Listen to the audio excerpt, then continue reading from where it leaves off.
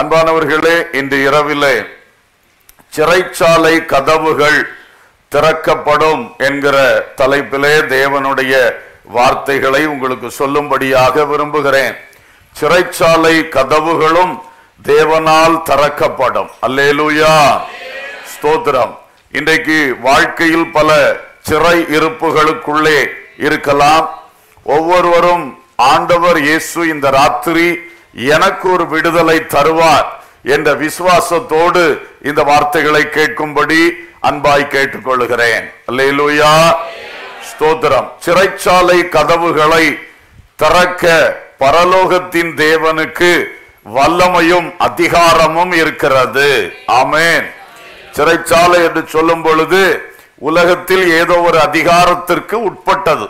ஆனால் உலகத்தில் உள்ள எல்லா அதிகாரங்களுக்கும் மேலான அதிகாரத்தை உடையவர் பரலோகத்தின் தேவனானவர். அமேன் எனவே அவர் சிறைச்சாலையின் கதவுகளை கூட திறக்க முடியும். வேத புஸ்தகத்தில் குறிப்பாக அப்போஸ்தலருக்கு அப்போஸ்தலருடைய நடவடிகளில் மூன்று அத்தகைய சம்பவங்கள் இருக்கிறதை நான் உங்களுக்கு நினைப்பூட்டி அதன் மூலமாக இன்று நமது வாழ்க்கைகளிலே என்ன கட்டுகள் சிறையிருப்புகள் இருக்கிறதோ அவைகளிலிருந்து இயேசு விடுதலை தரும்படியாக நாம் செபித்து அதை பெற்றுக்கொள்ள போகின்றோம். அல்லேலூயா. ஸ்தோத்திரம். முதலாவதாக அப்போஸ் நடபடிகள் ஐந்தாம் அதிகாரத்திலே பதினேழு தொடங்கி நாற்பத்தி இரண்டு வரையிலான வசனங்களில் எழுதப்பட்ட சம்பவத்தை நாம் படித்து பார்க்கும் பொழுது பொதுவான சிறைச்சாலையில் அப்போசலர்களை அடைத்து வைத்தார்கள். பிரதான ஆசாரியனுடைய அதிகாரத்துக்குட்பட்ட ஒரு சிறைச்சாலை அது.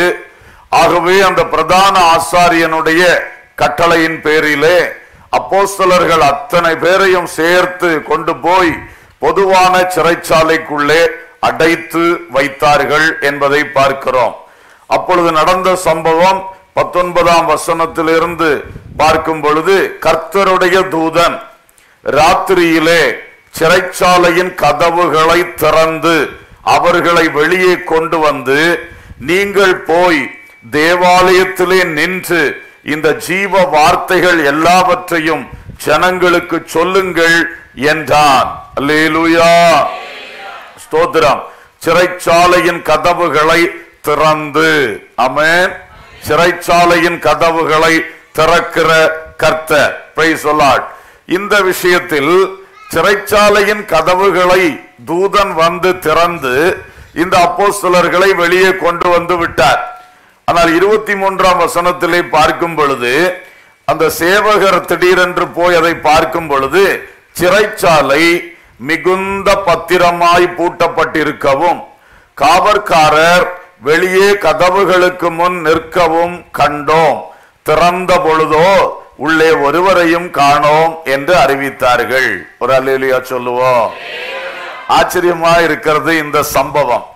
அப்போ பாருங்கள் தூதன் வந்து சிறைச்சாலையின் கதவை திறந்து அவர்களை வெளியே கொண்டு வந்தார். ஆனால் கொண்டு வந்த பிறகும் அது காவல் காத்தவர்களுக்கும் தெரியாது. அதிகாரிகளுக்கும் அந்த அதுல அடைத்து வைத்த பிரதான ஆசாரியன் உள்ளிட்ட அந்த அதிகாரிகளுக்கும் ஒண்ணுமே தெரியாது. அவர்கள் என்ன அடுத்த நாள் நல்லா தூங்கி எழும்பி வந்து உட்கார்ந்து கொண்டு கட்டளை கொடுக்கிறான். சிறைச்சாலையில் இருக்கிற ஆள்லாம் கொண்டு வா அப்படின்னு சொல்லி. அப்பதான் சேவகர் ஓடி போகிறார்கள். சிறைச்சாலைக்குள்ள இருக்கிறவங்களை கொண்டு வந்து இப்ப பிரதான ஆசாரியனுக்கு முன்பாக நிறுத்த வேண்டும் என்று சொல்லி. அப்படி கொண்டு நிறுத்துறதுக்கு போன இடத்துல தான் பாக்குறாங்க. கதவு கதவா திறக்கிறாங்க. எல்லாம் திறந்து உள்ள போனா உள்ள இருந்தவர்களை காணவில்லை. அல்லேலூயா. இப்படி பேசி கொண்டிருக்கும் பொழுதே திடீர்னு இன்னொருத்தன் ஓடி வந்து செய்தி கொடுக்கிறான். ஐயா நீங்க நேத்தைக்கு அடைத்து வைத்தவர்கள் எல்லாம் அங்க பிரசங்கம் பண்ணி கொண்டிருக்கிறார்கள் அப்படின்னு. அல்லேலூயா. எப்படிப்பட்ட ஆச்சரியமான ஒரு கிரியை தேவன் செய்தார். அப்ப இந்த சிறைச்சாலை கதவு திறக்கப்பட்ட விஷயத்திலே திறந்தது உள்ளே அடைக்கப்பட்டதும் வெளியே வந்தார்கள். வெளியே உள்ளவர்களுடைய பார்வைக்கு அது இன்னும் அடைக்கப்பட்டதாகவே தெரிந்து கொண்டே இருந்தது. இப்படி ஒரு காரியத்தை நாம் இந்த வேத பகுதியிலே படிக்கின்றோம். அன்பானவர்களே முக்கியமாக இவர்களை ஏன் அடைத்தார்கள்? இந்த அப்போஸ்லர்களை அடைத்து போட காரணம் ஒன்று பதினேழாம் வசனத்தில் இருக்கிறது. அப்பொழுது பிரதான ஆசாரியனும் அவனுடனே கூட இருந்த சதுசேய சமயத்தார் அனைவரும் எழும்பி பொறாமையினால் நிறைந்து பொறாமையினால் நிறைந்து அப்போஸ்தலர்களை பிடித்து பொதுவான சிறைச்சாலையிலே வைத்தார்கள். இந்த சிறையிருப்புக்கு காரணம் ஒரு கூட்டம் மக்களுடைய பொறாமை பொறாமை. அவர்களுடைய பொறாமையினாலே இவர்களை செயல்பட விடாமல் பிடித்து கொண்டு போய் சிறைச்சாலைக்குள் அடைத்து வைத்தார்கள். ஏன் இந்த பொறாமை இவர்களுக்கு வந்தது என்று கேட்டால் முந்தின வசனங்களில் பார்க்கிறோம். பதினைந்து பதினாறு ஆகிய வசனங்களிலே பிணியாளிகளை படுக்கைகளின் மேலும் கட்டில்களின் மேலும் கிடத்தி பேதுரு நடந்து போகையில் அவனுடைய நிழலாகிலும் அவர்களில் சிலர் மேல் படும்படிக்கு அவர்களை வெளியே வீதிகளில் கொண்டு வந்து வைத்தார்கள். சுற்று பட்டணங்களிலும் இருந்து திரளான ஜனங்கள் பிணியாளிகளையும் அசுத்தாவிகளால் பாதிக்கப்பட்டவர்களையும் எருசலேமுக்கு கொண்டு வந்தார்கள். அவர்கள் எல்லாரும் குணமாக்கப்பட்டார்கள். அல்லா இப்பொழுது இந்த பிரதான ஆசாரியனும் மற்றவர்களும் இயேசு கிறிஸ்துவை சிலுவையில் அறைந்து விட்டோம். இனி இந்த கிறிஸ்து மார்க்கம் நிக்காது. இயேசு போதித்ததெல்லாம் முடிந்து போச்சு என்று நினைத்து கொண்டிருக்கும் பொழுது இயேசுவின் சீஷராகி அப்போ சிலர்கள் பயங்கர வல்லமையாக எழும்பி ஊழியத்தை செய்கிறார்கள். எப்படிப்பட்ட காரியம் நடக்கிறது? நோயாளிகளை எல்லாம் வழியில வீதியில கொண்டு படுக்க வச்சிருக்காங்க. பேதுரு இங்க வருவாரா? அந்த ரூட்ல போவாரா? இந்த ரூட்ல போவாரா? இந்த ரூட்ல போனா அங்க கொண்டு அடுக்கிடுவார்கள். ஏன்னா அவருக்கு நிழலாயிலும் பட்டு என்ன செய்யட்டும்? சுகமாகட்டும் என்று சொல்லி. அல்லேலூயா. எருசலேமுக்குள்ளும் சரி வெளியே உள்ள கிராமங்கள் பட்டணங்களில் இருந்தும் அநேக பிணியாளிகளை அசுத்தாவிகளால் பாதிக்கப்பட்டவர்களையும் எருசலேமுக்கு கொண்டு வந்தார்கள். வசனம் சொல்லுகிறது அவர்கள் எல்லாரும் குணமாக்கப்பட்டார்கள். அல்லேலூயா. அப்ப இயேசு செய்த ஊழியத்தை இப்பொழுது அப்போஸ்தலர்கள் மகா வல்லமையாக செய்கிறார்கள். இதை கண்டு பிரதான ஆசாரியர்களால் தாங்க முடியாது. ஏன்னா அவர்கள் தான் அன்றைய மத தலைவர்கள் ஆனால் அவர்களால் ஒரு அற்புதமும் செய்ய முடியாது. அவர்களால் பிசாசுகளை துரத்த முடியாது. ஆகையினாலே இவர்கள் வல்லமையாக செய்யும் பொழுது அவர்களுக்கு பொறாமை. பொறாமை. ஏன்னா மக்கள் எல்லாம் இந்த பேதுரு பின்னால போவாங்க. இந்த அப்போசிலர்கள் பின்னால போவாங்க. எங்களுக்கு பின்னால இருக்க மாட்டாங்க. இந்த ஒரு பொறாமையினாலே தான் இந்த அப்போசலர்களை பிடித்து கொண்டு சிறைச்சாலையில் அடைத்து வைத்தார்கள். அலையலூயா அந்த கதவை தூதன் வந்து திறந்தார். அலையலூயா இன்றைக்கு அன்பான தெய்வ பிள்ளைகளை நமது வாழ்வுக்கு பிரயோஜனமாக இந்த காரியத்தை நாம் எடுத்துக்கொள்வோமாக. இன்றைக்கு சிலருடைய வாழ்க்கை கட்டப்பட்டிருக்க தடைப்படுத்தப்பட்டிருக்க காரணம் பிறருடைய பொறாமை. ஆமே பொறாமைகள் ரொம்ப அதிகமாக இருக்கின்றது. அடுத்தவன் வாழ்வதை பார்க்க சிலருக்கு பிடிக்காது. தன் பக்கத்து வீட்டுக்காரன் வாழ்றதை பிடிக்காது. தன்னுடைய உறவின் முறையில இன்னொருவன் வாழுகிறதை பிடிக்காது. தன்னுடைய அலுவலகத்திலே ஒருவன் உயர்வதை பிடிக்காது. இப்படி உலகம் முழுவதும் அநேக மனிதர்களுக்குள்ளே ஒருவித பொறாமை பயங்கரமாய் கிரியை செய்து கொண்டிருக்கிறதை பார்க்கிறோம். அப்ப இந்த பொறாமை பிடித்தவர்கள் தங்களுக்கு என்ன செய்ய முடியும்? இந்த மனுஷனை கட்டுவதற்கு இவனுடைய உயர்வை தடுப்பதற்கு இவனுடைய வாழ்க்கையை கட்டி போடுவதற்கு இவனை அடைத்து வைப்பதற்கு என்ன செய்ய முடியும் என்று அவர்கள் சிந்திக்கிறார்கள். ஒவ்வொருவரும் ஒவ்வொரு விதத்திலே உங்களுக்கு விரோதமாக செயல்பட தொடங்குகிறார்கள். அப்படிப்பட்ட செயல்பாடுகளால் இன்றைக்கு சிறைச்சாலையில் அடைக்கப்பட்டது போல வாழ்க்கையில் முன்னேற முடியாதபடி தடைப்படுத்தப்பட்டவர்களாக யார் காணப்படுகிறீர்கள்? உங்களுக்கு அன்றைக்கு அந்த தூதன் இறங்கி அந்த சிறைச்சாலையின் கதவை திறந்தது போல நிச்சயமாக இன்று ராத்திரி கர்த்தர் சிறைச்சாலையின் கதவுகளை திறப்பார். அல்லேலூயா. அந்த ஒரு விசுவாசத்தோடு தான் நீங்கள் இந்த வார்த்தைகளை உள்ளே எடுத்துக்கொள்ள வேண்டும். தேவனுடைய வார்த்தைகள் வீணிலே வருவது இல்லை. அவர் ஒரு வார்த்தை அனுப்புகிறார் என்றால் அந்த காரியம் வாய்க்கும்படி அவர் கிரியை செய்வார். அல்லேலூயா. இன்றைக்கு தேவ மக்களே எதிலே நீங்கள் கட்டப்பட்டிருக்கிறீர்கள். ஒரு முறை நான் கேள்விப்பட்டேன். ஒரு சின்ன ஃபர்ஸ்ட் ஸ்டாண்டர்டோ செகண்ட் ஸ்டாண்டர்டோ படிக்கக்கூடிய பிள்ளை. அந்த பிள்ளைகளில் ஒரு பிள்ளை வந்து எப்பவும் ஃபர்ஸ்ட் ரேங்க் எடுக்குதுன்னு சொல்லி தன்னுடைய பிள்ளை செகண்ட் ரேங்க் தேர்ட் ரேங்க் தான் எடுக்குதுன்னு சொல்லி அந்த பெற்றோர் போய் மந்திரவாதிட்ட போய் இந்த நல்லா படிக்கிற பிள்ளைக்கு விரோதமாய் மந்திரவாதம் செய்து அந்த பிள்ளைக்கு பள்ளிக்கூடத்துக்கு வர முடியாத அளவிலே அடைக்கப்பட்ட சூழ்நிலை உண்டாயிருந்தது. அல்லேலூயா! அப்ப பொறாமை எங்கிருந்து வருது பாருங்க. ஒரு ஒன்னாம் கிளாஸ் ரெண்டாம் கிளாஸ்ல அந்த பையன் ஃபர்ஸ்ட் ரேங்க் எடுத்தனால என்ன ஆகி போக போகுது? ஆனா தன் பிள்ளை செகண்ட் ரேங்க் தேர்ட் ரேங்க் தான் எடுக்குதுன்னு சொல்லி அதற்கு ஒரு பொறாமை. அந்த பொறாமையில அவங்க பாக்குறாங்க என்னை கொண்டு இந்த பிள்ளைய ஒன்றும் செய்ய முடியாது.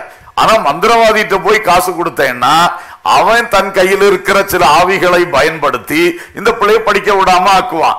இந்த பிள்ளைய பள்ளிக்கூடத்துக்கு வர விடாம ஆக்குவான். அப்படி கிரியை செய்கிறார்கள். கத்தருக்கு ஸ்தோத்திரம். அப்போ அந்த பிள்ளை பாதிக்கப்பட்டிருந்தது. பிறகு ஆண்டவருடைய கிருபையினாலே தேவ ஊழியருடைய செபத்தினாலே அது விடுதலையாக்கப்பட்டது. அல்லேலூயா. இன்றைக்கு கூட அநேகர் அப்படி சொல்லுவார்கள். எப்பெல்லாம் நல்லா படிக்கும் பாருங்க. நல்லா படித்து வந்தது. ஆனா இப்ப பள்ளிக்கூடத்துக்கே போறதுக்கு மாட்டேன் என்று சொல்லி கொண்டிருக்கிறது. புத்தகம் எடுத்தா தலை சுற்றுகிறது. இப்படி எல்லாம் நிறைய பேர் சொல்லுகிறதை பார்க்கிறோம். நல்லா படிக்கிறாப்புல ஆனா பரீட்சைன்னு வந்துச்சுன்னா எக்ஸாம் ஹாலுக்கு போக முடியாது. அப்ப பார்த்து வியாதி. அல்லது அப்ப பார்த்து ஏதோ ஒரு சூழ்நிலை. என் பிள்ளை படித்தோம் பரீட்சை எழுத முடியாமல் போய்விடுகிறது. இப்படிப்பட்ட நிறைய கட்டுகள் அடைக்கப்பட்ட அனுபவங்கள் பலருக்கு இருக்கின்றது. கத்தருக்கு ஸ்தோத்திரம். ஒரு தம்பியை குறித்து கேள்விப்பட்ட அவன் காலேஜில் படிச்சிட்டு இருக்கும் பொழுது நல்லா படிப்பான். நல்ல இப்பொழுதும் அஹ், பெரிய அளவில் படிக்கிறான். ஐஐடி இதெல்லாம் படிச்சிட்டு இருக்கிறான். அப்ப அதுக்கு முன்னாடி அவன் பேச்சுலர்ஸ் டிகிரியில இருக்கும் பொழுது அவன் நல்லா படிக்கிறான்னு சொல்லி கூட இருக்கிற பசங்க பொறாமப்பட்டு இவனுக்கு விரோதமா பொய் குற்றச்சாட்டுகளை அந்த டீச்சர்ஸ்ட அந்த டிபார்ட்மெண்ட் ஹெட்ஸ் கிட்ட சொல்லி கடைசியில் பெரிய பிரச்சனையை உருவாக்கி விட்டு விட்டார்கள். எவனோ செய்த ஒரு பயங்கர தப்பு அது கல்லூரி நிர்வாகத்துக்கும் எதிரான ஒரு தப்பு. இந்த டிபார்ட்மெண்ட்ல பொறுப்பா இருக்கிறவருக்கு பாதிப்பு வரக்கூடிய ஒரு பிரச்சனை. அதை இவன் அந்த இவன் கையே கிடையாது. இவன் அப்படிப்பட்ட தம்பியில விசுவாசி விசுவாசியுடைய மகன் விசுவாசி நல்ல பிள்ளை. இவனுக்கு விரோதமாக அப்படி கிளப்பி விட்டு அது இவனால ஒரு நிரபராதின்னு சொல்லி தன்னை நிரூபிக்க முடியல. அந்த அளவுக்கு ஒரு பயங்கர கட்டு. பிறகு அவர்கள் நடத்துகிற முறைகள்ல அவருடைய என்கொயரிகள்ல இவன் இனி நான் போகவே மாட்டேன் என்று சொல்லி நின்று விட்டான். அப்புறம் பாருங்க தேவ சமூகத்திலே ஜெபித்தோம். அந்த தகப்பன விசுவாச குடும்பம் நன்றாக ஜெபித்தார்கள். அதான் எத்தனையோ மாசம் கஷ்டப்பட்டாங்க. அவன் போகவே மாட்டேன்னு வரைக்கும் சொல்லிட்டான். அந்த அளவுல இருந்த தம்பிய எல்லாம் ஆண்டவர் அழகா கிளியர் பண்ணி அவன் அங்கிருந்து முடிச்சு அப்புறம் மாஸ்டர்ஸ்க்கு அவன் வந்து ஹையர் ஒரு நல்ல ஒரு இதுல ஐஐடிக்குள்ள அவன் போகும்படி கத்தர் உதவி செய்திருக்கிறார். அல்லேலூயா பாருங்கள் ஒரு பொறாமை எப்படியெல்லாம் கிரியேட் செய்கிறது என்று பாருங்கள். மந்திரவாதியை ஏவி விட்டு கட்டுக்குள்ளே வைக்கிறார்கள் அல்லது அடைத்து போடுகிறார்கள். அது மாதிரி இல்லாத பொல்லாதத பழி சாட்டி அதன் மூலமாக படிப்பை கெடுத்து நஷ்டப்படுத்துகிறார்கள். இப்படி ஒரு படிப்பு விஷயத்திலே இத்தனை பொறாமைகள். அப்படி என்ன? சம்பளம் வாங்கக்கூடிய வேலை விஷயங்களில எவ்வளவு பொறாமைகள் இருக்கும் இல்லையா? அது போல ஒருத்தர் ப்ரமோஷன் ஆயிட்டாருன்னா அவன் கூட இருக்கிறவங்க இவன் நேத்தைக்கு வரைக்கும் நம்மளோட இருந்தா இன்னைக்கு நம்மளுக்கு அதிகாரியா மாறிட்டாப்லையா இவனை இருக்க விடுவனா? என்று சொல்லுகிற பொறாமைகள். நிறைய இப்படி இருக்கிறதை நாம் பார்க்கின்றோம். இந்த காரியங்களில் நீங்கள் யாராயிலும் இப்படி கட்டப்பட்டு இருப்பீர்கள் என்றால் அந்த சிறையின் கதவுகளை திறந்துவிட கர்த்தர் இன்று தூதனை அனுப்ப வல்லவராக இருக்கிறார். அல்லேலூயா! சில காலமாக நீங்கள் இப்படிப்பட்ட அடைக்கப்பட்ட சூழ்நிலையை நீங்கள் அனுபவித்துக் கொண்டே இருக்கலாம். ஆனாலும் பயப்படாதிருங்கள். எந்த சிறைச்சாலையின் கதவையும் திறக்க தேவனுடைய ஒரு கட்டளை போதும். தூதன் வருவான் சிறைச்சாலை கதவை திறப்பான் அல்லேலூயா. எனவே தேவ பிள்ளைகளே நீங்கள் கட்டப்பட்டிருக்கிற காரியம் என்ன? சிலர் சொல்லுவார்கள் இந்த வீட்டை கஷ்டப்பட்டு கட்டினேன் என்னைக்கு வீட்டுல பிரதிஷ்ட ஆராதனை நடத்தி குடியேறினோ அன்னைக்கு எனக்கு சந்தோஷம் போச்சு. எங்க குடும்பத்துக்குள்ள கணவன் மனைவி ஒரே போராட்டம். அந்த வாடகை வீட்டுல இருக்கும்போது நல்லா இருந்தோம். இல்ல ஒரு சின்ன வீட்டுல நாங்க எளிய நிலையில இருக்கும்போது நல்லா இருந்தோம். இந்த வீட்டுக்குள்ள வந்த உடனே முதல் நாளே பிரச்சனை என்று சொல்லுகிறதை நான் கேட்டிருக்கிறேன். நீங்கள் வீடு கட்டி இருப்பது யாரோ ஒருவருக்கு பிரியம் அல்ல அவருக்கு ஒரு பொறாமை உண்டாயிற்று. அந்த பொறாமையினாலே அவர் ஏதோ ஒரு சதி பண்ணி இருக்கிறார் அந்த பிசாசு வீட்டுக்குள்ள வந்து நிக்கிறது. உங்க குடும்பத்துக்குள்ள பிரிவினையை உண்டாக்குறது. பிரச்சனை பிரச்சனையை உண்டாக்குறது. உன் வீட்டை தடுக்க கட்டுமானத்தை தடுக்க அவன் ரெண்டு மூன்று முறை முயற்சி எடுத்தான் ஆனாலும் நீ ஜெபித்தாய் தேவ சமூகத்தில் அதிலிருந்து வெற்றி பெற்று எழும்பினீர்கள். இப்போ அவன் என்ன நினைக்கிறான்? குடியேறிட்டியா? உன்னை வாழ விட மாட்டேன் என்று அவன் நினைத்து அந்த பிசாசானவன் போராடி கொண்டே இருக்கிறான். ஆனாலும் பயப்படாதிருங்கள். நீங்கள் இன்று ஆண்டவருடைய வார்த்தை விசுவாசியுங்கள். கர்த்தரை நோக்கி கூப்பிடுங்கள். உனக்கு கர்த்தர் கட்டி தந்த வீட்டை ஆசீர்வாதமாக மாற்றி தருவார். அல்லா அங்கே ஒன்றாயிருக்க முடியாத அன்பாயிருக்க முடியாத புரிந்து கொள்ளுதல் இல்லாத அந்த பரிதாபகரமான நிலையை ஆண்டவர் இயேசு உடைப்பார். அல்லேலூயா.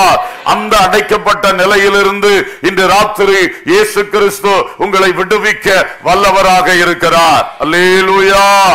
கர்த்தருக்கு மகிமை உண்டாவதாக.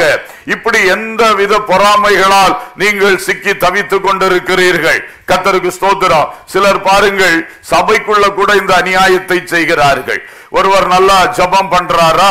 ஒருவர் நல்ல பாடல் பாடுகிறாரா? கொஞ்சம் ஊழியத்துல சப்போர்ட்டா நின்று முன்னால நின்று அவர் வளர்ந்து வருகிறாரா? அவர் மூலம் சபைக்கு பிரயோஜனம் உண்டாகுதா? சிலருக்கு பிடிக்காது. ஏன்னா எங்கேயாவது ஒரு பிரச்சனையை உண்டாக்கி அந்த ஆளுக்கு மேல ஒரு கம்ப்ளைண்ட போட்டு பாஸ்டர் அவரை உட்கார வைங்க. அவரை உட்கார வைங்க. இல்லைன்னா நாங்க எல்லாரும் சேர்ந்து இப்போ போயிடுவோம். இப்படியெல்லாம் கூட பிரச்சனை பண்ணுகிறவர்கள் இருக்கிறார்கள். நம்மளும் கூட நினைப்போம் ஏதோ நடந்து போச்சோ? பாவம் நம்ம தெரியாம தான் முன்னால தூக்கி விட்டோமா? இல்ல தெரியாம தான் உயர்த்திட்டோமா? ஐயோ இவர் சாட்சியை கெடுத்துட்டாரு அப்படி நம்ம நினைப்போம். ஆனா கடைசியில விசாரித்து பார்த்தா ஒரு விஷயமே இருக்காது. அல்லா இது ஏதோ ஒருவர் கட்டின சதி வலை. வேணும்னு. என்ன? அடிப்படை என்ன? பொறாமை. அவனுக்கு பாட முடியும் எனக்கு பாட முடியல. அவனுக்கு அதை செய்ய முடியும் எனக்கு இதை செய்ய முடியல. அவளுக்கு அதை செய்ய முடியும் எனக்கு செய்ய முடியல. அது ஏன்? ஆண்டவர் ஒவ்வொருவருக்கும் இலவசமா கிருபையும் வரங்களும் தருகிறார். அல்லா ஆனா ஆவியானவர் ஒருவரையும் வெறுங்கையா விட மாட்டார். அவன் அவனுக்கு அவர் அளிக்கின்ற வரம் அதை பகிர்ந்து அளிக்கிறார். அப்போ ஒருவருக்கு ஒரு விதமாகவும் இன்னொருவருக்கு இன்னொரு விதமாகவும் இருக்கிறது. இந்த அண்டர்ஸ்டாண்டிங் இல்லாதனால அவனை போல நான் மாறணும். ஆனா எனக்கு பாட்டே வரமாட்டேங்கி. அப்ப சும்மா இருக்கலாம்ல?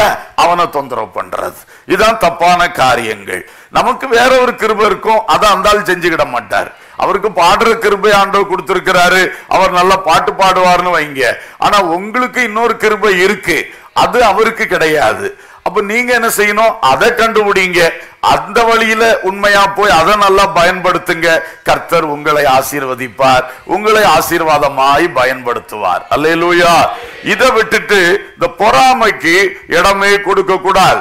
பொறாமையினால் கட்டுகிறது. ஆனா என்ன தெரியுமா உண்மையில? பைபிள் சொல்லுகிறது பொறாமையோ எலும்புருக்கி. எலும்புருக்கினா டிபி இல்லை? எலும்புருக்கி. அப்போ பொறாமை வந்து எப்படிப்பட்ட டிபி மாதிரி உள்ளது அப்படின்னு பைபிள் சொல்லுது. அது ஒரு ஒரு பரிசுவான் சொல்றாரு அது தன்னை உடையவனை கொல்லும். அப்போ யாரு அடுத்த ஆளுக்கு விரோதமா பொறாமப்படுறாங்களோ அவங்களை அல்ல அது யாரைத்தான் கடைசியில் அழிக்க போகுது?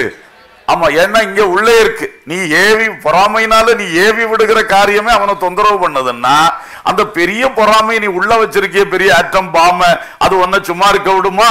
குறிப்பிட்ட வேளையில் அது வெடிக்கும். நீ இல்லாம போயிடுவ. அதான் உண்மை. பொறாமை வந்து தன் யார் அதை உள்ள வச்சிருக்காங்களோ அவங்களை அழித்து விடும். அல்லா எனவே நம்முடைய விடுதலைக்காக இன்றைக்கு நாம் ஜபித்து ஜெபித்து பெற்றுக்கொள்ள போகிறோம் சொல்லும் பொழுது நம்ம சைடையும் நம்ம கிளியர் பண்ணணும். அல்லா நமக்குள்ள யார் மேலும் பொறாமை இருக்கக்கூடாது. யார் வாழ்ந்தாலும் வாழட்டும். சந்தோஷமா இருக்கணும். அமைதியா இருக்கணும். உங்க வழியில நீங்க போயிட்டே இருக்கணும். அல்லேலூயா. கர்த்தர் அவர் அவருக்கு ஒரு ஓடு பாதை என்ன செஞ்சிருக்கிறாரு? வச்சிருக்கிறார். அவன் அவனுக்கு நியமிக்கப்பட்ட ஓட்டத்திலே பொறுமையோடே ஓட கடவும் பொறாமையோடே அல்ல. எப்படி ஓடணும்? பொறுமையோடே ஓடணும். அல்லேலூயா. இது ஒவ்வொரு தெய்வ பிள்ளைகளும் படித்துக் கொள்ள வேண்டும். சிலருக்கு பாருங்க உங்களுக்கு உயர்வே வராது. அப்படியே ஒரு ஸ்ட்ரைட் லைன்ல வண்டி போயிட்டே இருக்கும். ஆனால் உங்களுக்கு பின்னால் வந்த சில ஆட்கள் உயர்ந்து உயர்ந்து போயிட்டே இருப்பாங்க. உடனே உங்களுக்கு பொறாம வரக்கூடாது. பொறுமையா இருங்க. ஆண்டவர் தான் சொன்னார் பொறுமையோடே ஓடக்கடவும் கொஞ்சம் தாண்டி உனக்கு ஒரு உயர்வு வச்சிருப்பாரு. அது அவனோட பெருசா இருக்கும் சில சமயம். அல்ல இல்லையா ஆனா அது வரைக்கும் நீ என்ன செய்யணும்? பொறுமையா இருக்கணும். பொறுமையோடு ஓடு. பொறுமையோடு ஓடு. அங்க இங்க பார்க்காத. அவரை உயர்த்துவது அதுக்கு ஆண்டவர் வேலையை வச்சிருப்பார். அவரை ஒரு 50 பாயிண்ட் உயர்த்துவார் அதுக்கு வேலையை வச்சிருப்பார் உயர்த்தினார். ஆனா அவனை 50 பாயிண்ட் உயர்த்தும் பொழுது நீ இன்னும் டென் பாயிண்ட்ல தான் போயிட்டு இருக்கிற கவலைப்படாத. கொஞ்சம் தாண்டி போகும்போது உன்னை எயிட்டி பாயிண்ட் உயர்த்துவார். அல்ல அன்னைக்கு நீ நினைப்ப எவ்வளவு சந்தோஷம். இல்லையா? இப்படி நிறைய சம்பவங்கள் நடக்கிறத நாம பார்க்க முடியும். எனவே நமக்கு நியமிக்கப்பட்டிருக்கிற ஓட்டத்திலே நாம் பொறுமையோடு ஓடும் பொழுது கர்த்தர் என்னென்ன உயர் வச்சிருக்கிறாரோ அதை தடை இல்லாமல் தருவார். அல்லேலூயா. அதே மாதிரி நமக்கான நன்மையான எந்த ஈவம் பூரணமான எந்த வரமும் பரத்திலே உருவாகி ஜோதிகளின் பிதாவினிடத்திலிருந்து இறங்கி வருகிறது. இதை கர்த்தருடைய பிள்ளைகள் அப்படியே விசுவாசிக்கணும். எனக்கு இந்த உலகத்துல எந்த ஒரு காரியம்னாலும் அது எங்க உருவாக்கப்படும்? பரலோகத்துல. பரலோகத்துல அவர் உருவாக்கிட்டு ஏற்ற சமயத்துல என்ன பண்ணுவாரு? குறித்த வேளையில இறங்கி வர பண்ணுவார் நேரமே கையில தந்து வைக்க மாட்டார். அது அங்க பத்திரமா இருக்கும். முதல்ல இங்க தந்தா கெட்டு போகும். உங்களுக்கு பயன்படுத்த தெரியாம பயன்படுத்தி அழிச்சு போடுவீங்க. அதனால அவர் பத்திரமா அங்க என்ன வச்சிருப்பாரு. வச்சிருப்பாரு. உனக்கு வேண்டி அந்த டைம் வரும் பொழுது அழகா இறங்கி வர பண்ணுவார். அல்ல அப்ப நீங்க சில பொருள் அவனுக்கு அது இருக்கு எனக்கு இது இல்லையே. ஓ அவங்களுக்கெல்லாம் இது இருக்கு. எனக்கு மட்டும் இல்லையே. அப்படி நினைக்க கூடாது. உங்களுக்கானது அங்க ரெடியா இருக்கு. உங்களுக்கு என்ன என்ன வேணும்னு அந்த திட்டம் பண்ணினார். எல்லாமே உருவாக்கி வச்சிருப்பாரு. டைம் வரும் பொழுது உங்க கையில கொண்டு சேர்ப்பார். அப்ப அதுல பொறுமையா இருக்கணும். உடனே கடனுக்கு நான் வாங்கிடுவேன். அவன் வாங்கிட்டானா? கார் வாங்கிட்டானா? எனக்கு என்ன? கார் வாங்க முடியாதா? அவன் நாலு வீல் கார் வாங்கினா நான் எட்டு வீல் கார் வாங்கிட மாட்டேனா?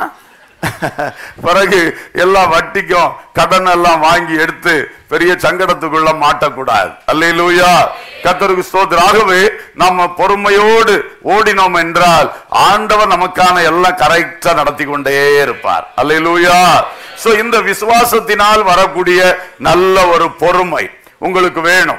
தேவ அன்பினால் வரக்கூடிய பொறுமை. நம்ம எல்லாரையும் நேசிக்கிறோம். ஆண்டோடைய அன்பு நமக்குள்ள இருக்கு. அதனால என் சகோதரன் ஆசீர்வதிக்கப்படட்டும். என்னுடைய குடும்ப சகோதரனா இருக்கட்டும் சபையில உள்ள சகோதரனா இருக்கட்டும் என்ன செய்யட்டும்? ஆசீர்வதிக்கப்படட்டும். ஒரு சாட்சியில சொல்லுவார்கள் நான் ஜெபித்தேன். ஆண்டவர் எனக்கு இப்படி ஒரு அற்புதத்தை செஞ்சிட்டார். எனக்கு எதிர்பாராத நன்மை கிடைச்சிருச்சு. உடனே நாலஞ்சு மூஞ்சி இப்படி ஆயிடும். அப்படி ஆகக்கூடாது. அவர் வந்து சொல் அவர் பேசாம ஒழிச்சு வச்சிருக்கலாம் இல்லையா? வந்து சொல்றதே எதுக்கு? என்னுடைய சகோதரர்கள் சேர்ந்து சோத்திரம் பண்ணட்டு. சபை நடுவே என் தேவனை நான் என்ன செய்யட்டும்? மகிமைப்படுத்தட்டும் நல்ல நோக்கத்தோட சொன்னா அதுல போய் உடமாறி. இப்படியே ஒரு ஆள் என்று சொன்னாங்க. ஒரு- ஒரு நாள் அவருக்கு ஒரு பெரிய நன்மை கிடைச்சது. அப்போ அதுல ஒரு சாட்சி சொன்னார். அன்றிலிருந்து சிலர் பேச மாட்டாங்களாம். அது வரைக்கும் நல்ல பிரதர் பிரதர்னு சொல்லிக்கிட்டு சபை முடிஞ்ச உடனே பேசுற ஆட்கள் இதை கேட்டதுலேருந்து கிட்டே வர மாட்டார்களாம் இது சபைக்குள்ளேயே இப்படி இருக்குன்னா எப்படி பாருங்க? கத்தருக்கு ஸ்தோத்திரம். ஆகவே இந்த மாதிரி தன்மைகள் என்ன செய்யக்கூடாது? நமக்குள் இருக்கவே கூடாது. அந்த விசுவாசத்தினால் வரும் பொறுமையோட ஓடுங்க. எனக்கானது அங்க உருவாக்கப்படுது.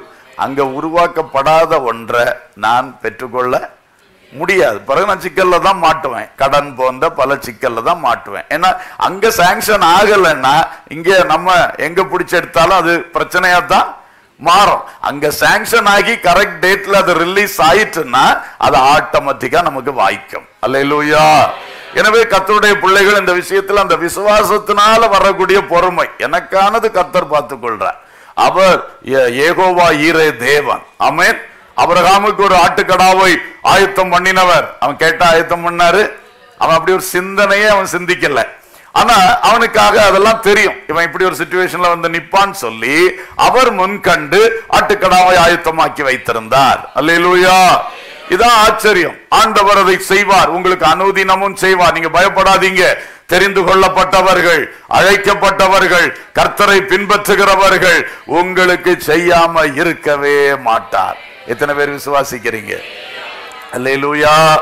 நிச்சயமாக கர்த்தர் எல்லாம் ரெடி பண்ணி வச்சிருக்க நமக்கு சிலது சிந்திக்க கூட தெரியாது. நம்ம நாளைக்கு இது வேணும்னு நமக்கு இன்னைக்கு சிந்திக்க கூட தெரியாது. அவர் முன்னமே ஆயத்தம் பண்ணியே வச்சிருப்பாரு. ஹalleluya.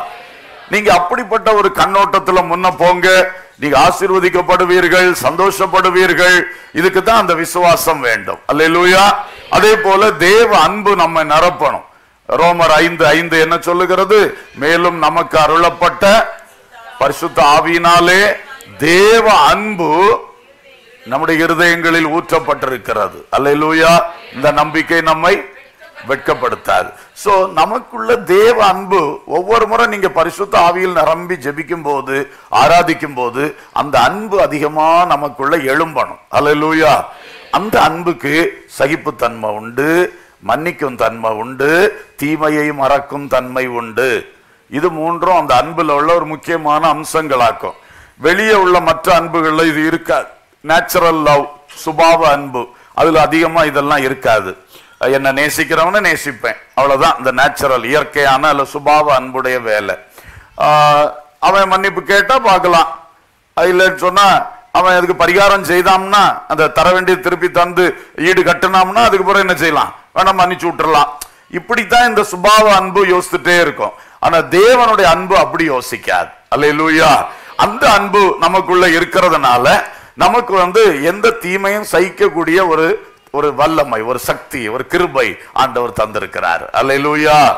அதே மாதிரி நமக்கு விரோதமா தீமை செய்யறவங்களை மன்னிக்க கூடிய ஒரு பண்பை கர்த்தர் அந்த அன்பினால நமக்கு தந்திருக்கிறார். ஆமென். நமக்கு தீமை செய்தவனை உடனே மறக்கக்கூடிய தீமையை மறந்துடணும். நன்மை என்ன செய்ய வேண்டாம்?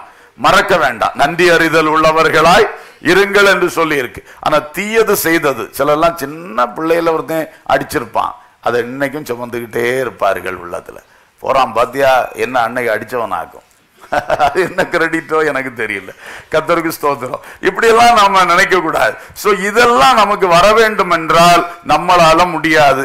நமக்குள் இருக்க சுபாவ அன்பால முடியாது. அதுக்கு தான் பரிசுத்த ஆவியை பெற்றிருக்கிறோம். அவர் அவரை பெறும் பொழுதே அந்த அன்பு நமக்குள்ள என்ன செய்தாச்சான் வந்தாச்சா?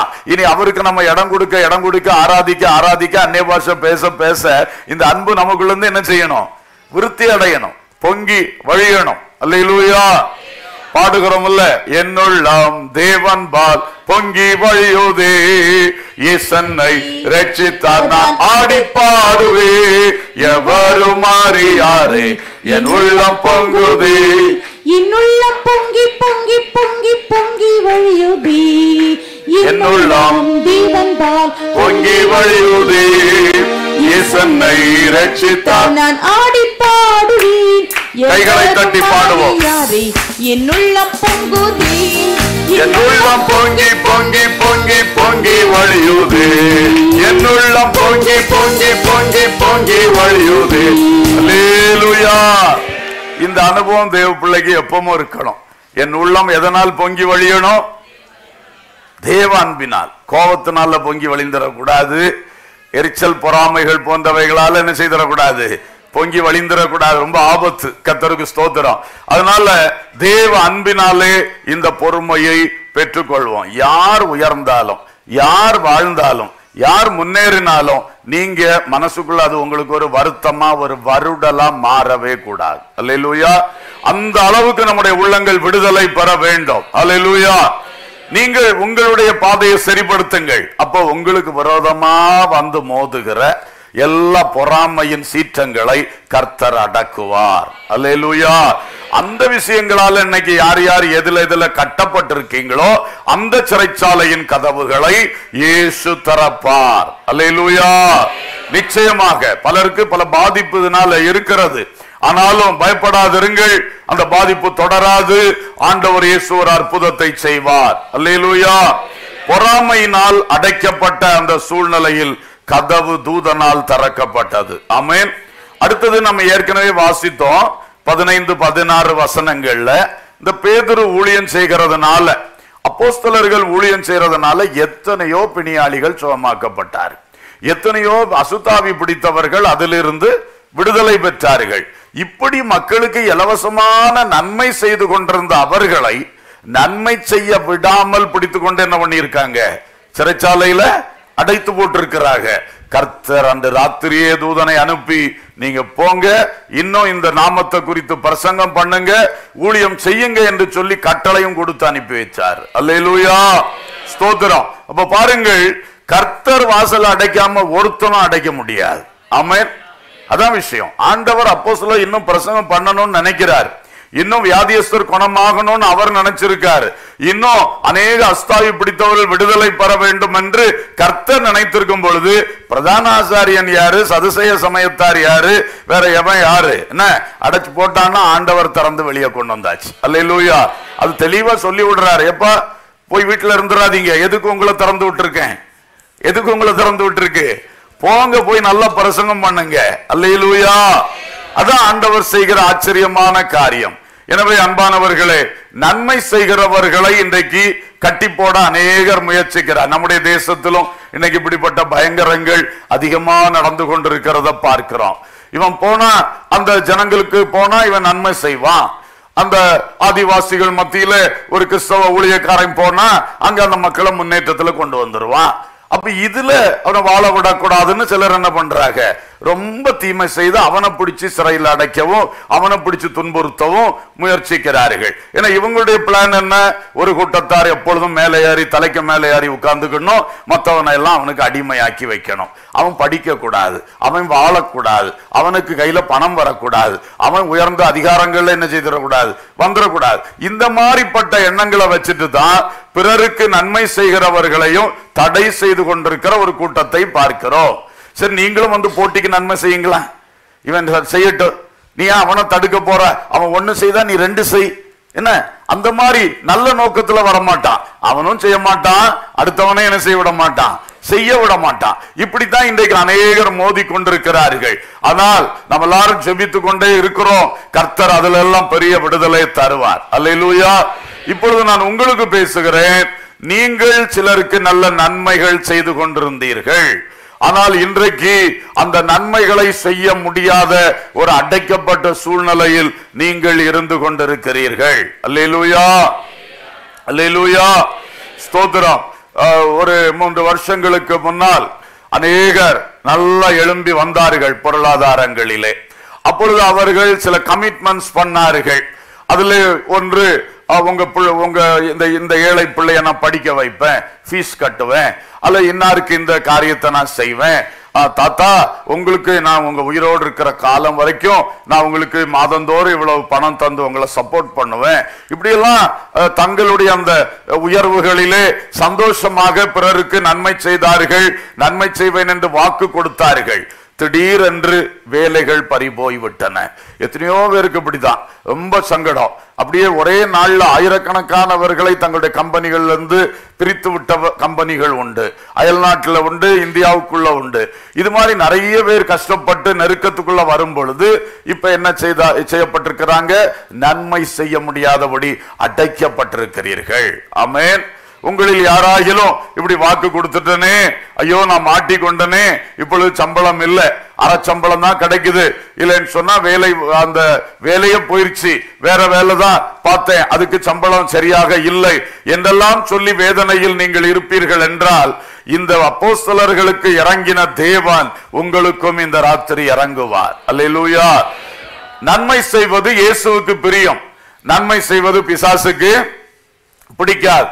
ஆகவே இன்றைக்கு ஆண்டவர் உங்களுக்கு நன்- உங்- உங்- உங்களை கொண்டு பிறருக்கு நன்மை செய்ய சித்தமா இருக்கும் பொழுது உன் கை அடைக்கப்பட்டதாய் இருக்கிறது. அதை கர்த்தர் தரப்பார். அல்லேலூயா. விசுவாசியுங்கள் கர்த்தர் அந்த அற்புதத்தை செய்வார். ஒரு அம்மாவை குறித்து எனக்கு ஞாபகம் வருது.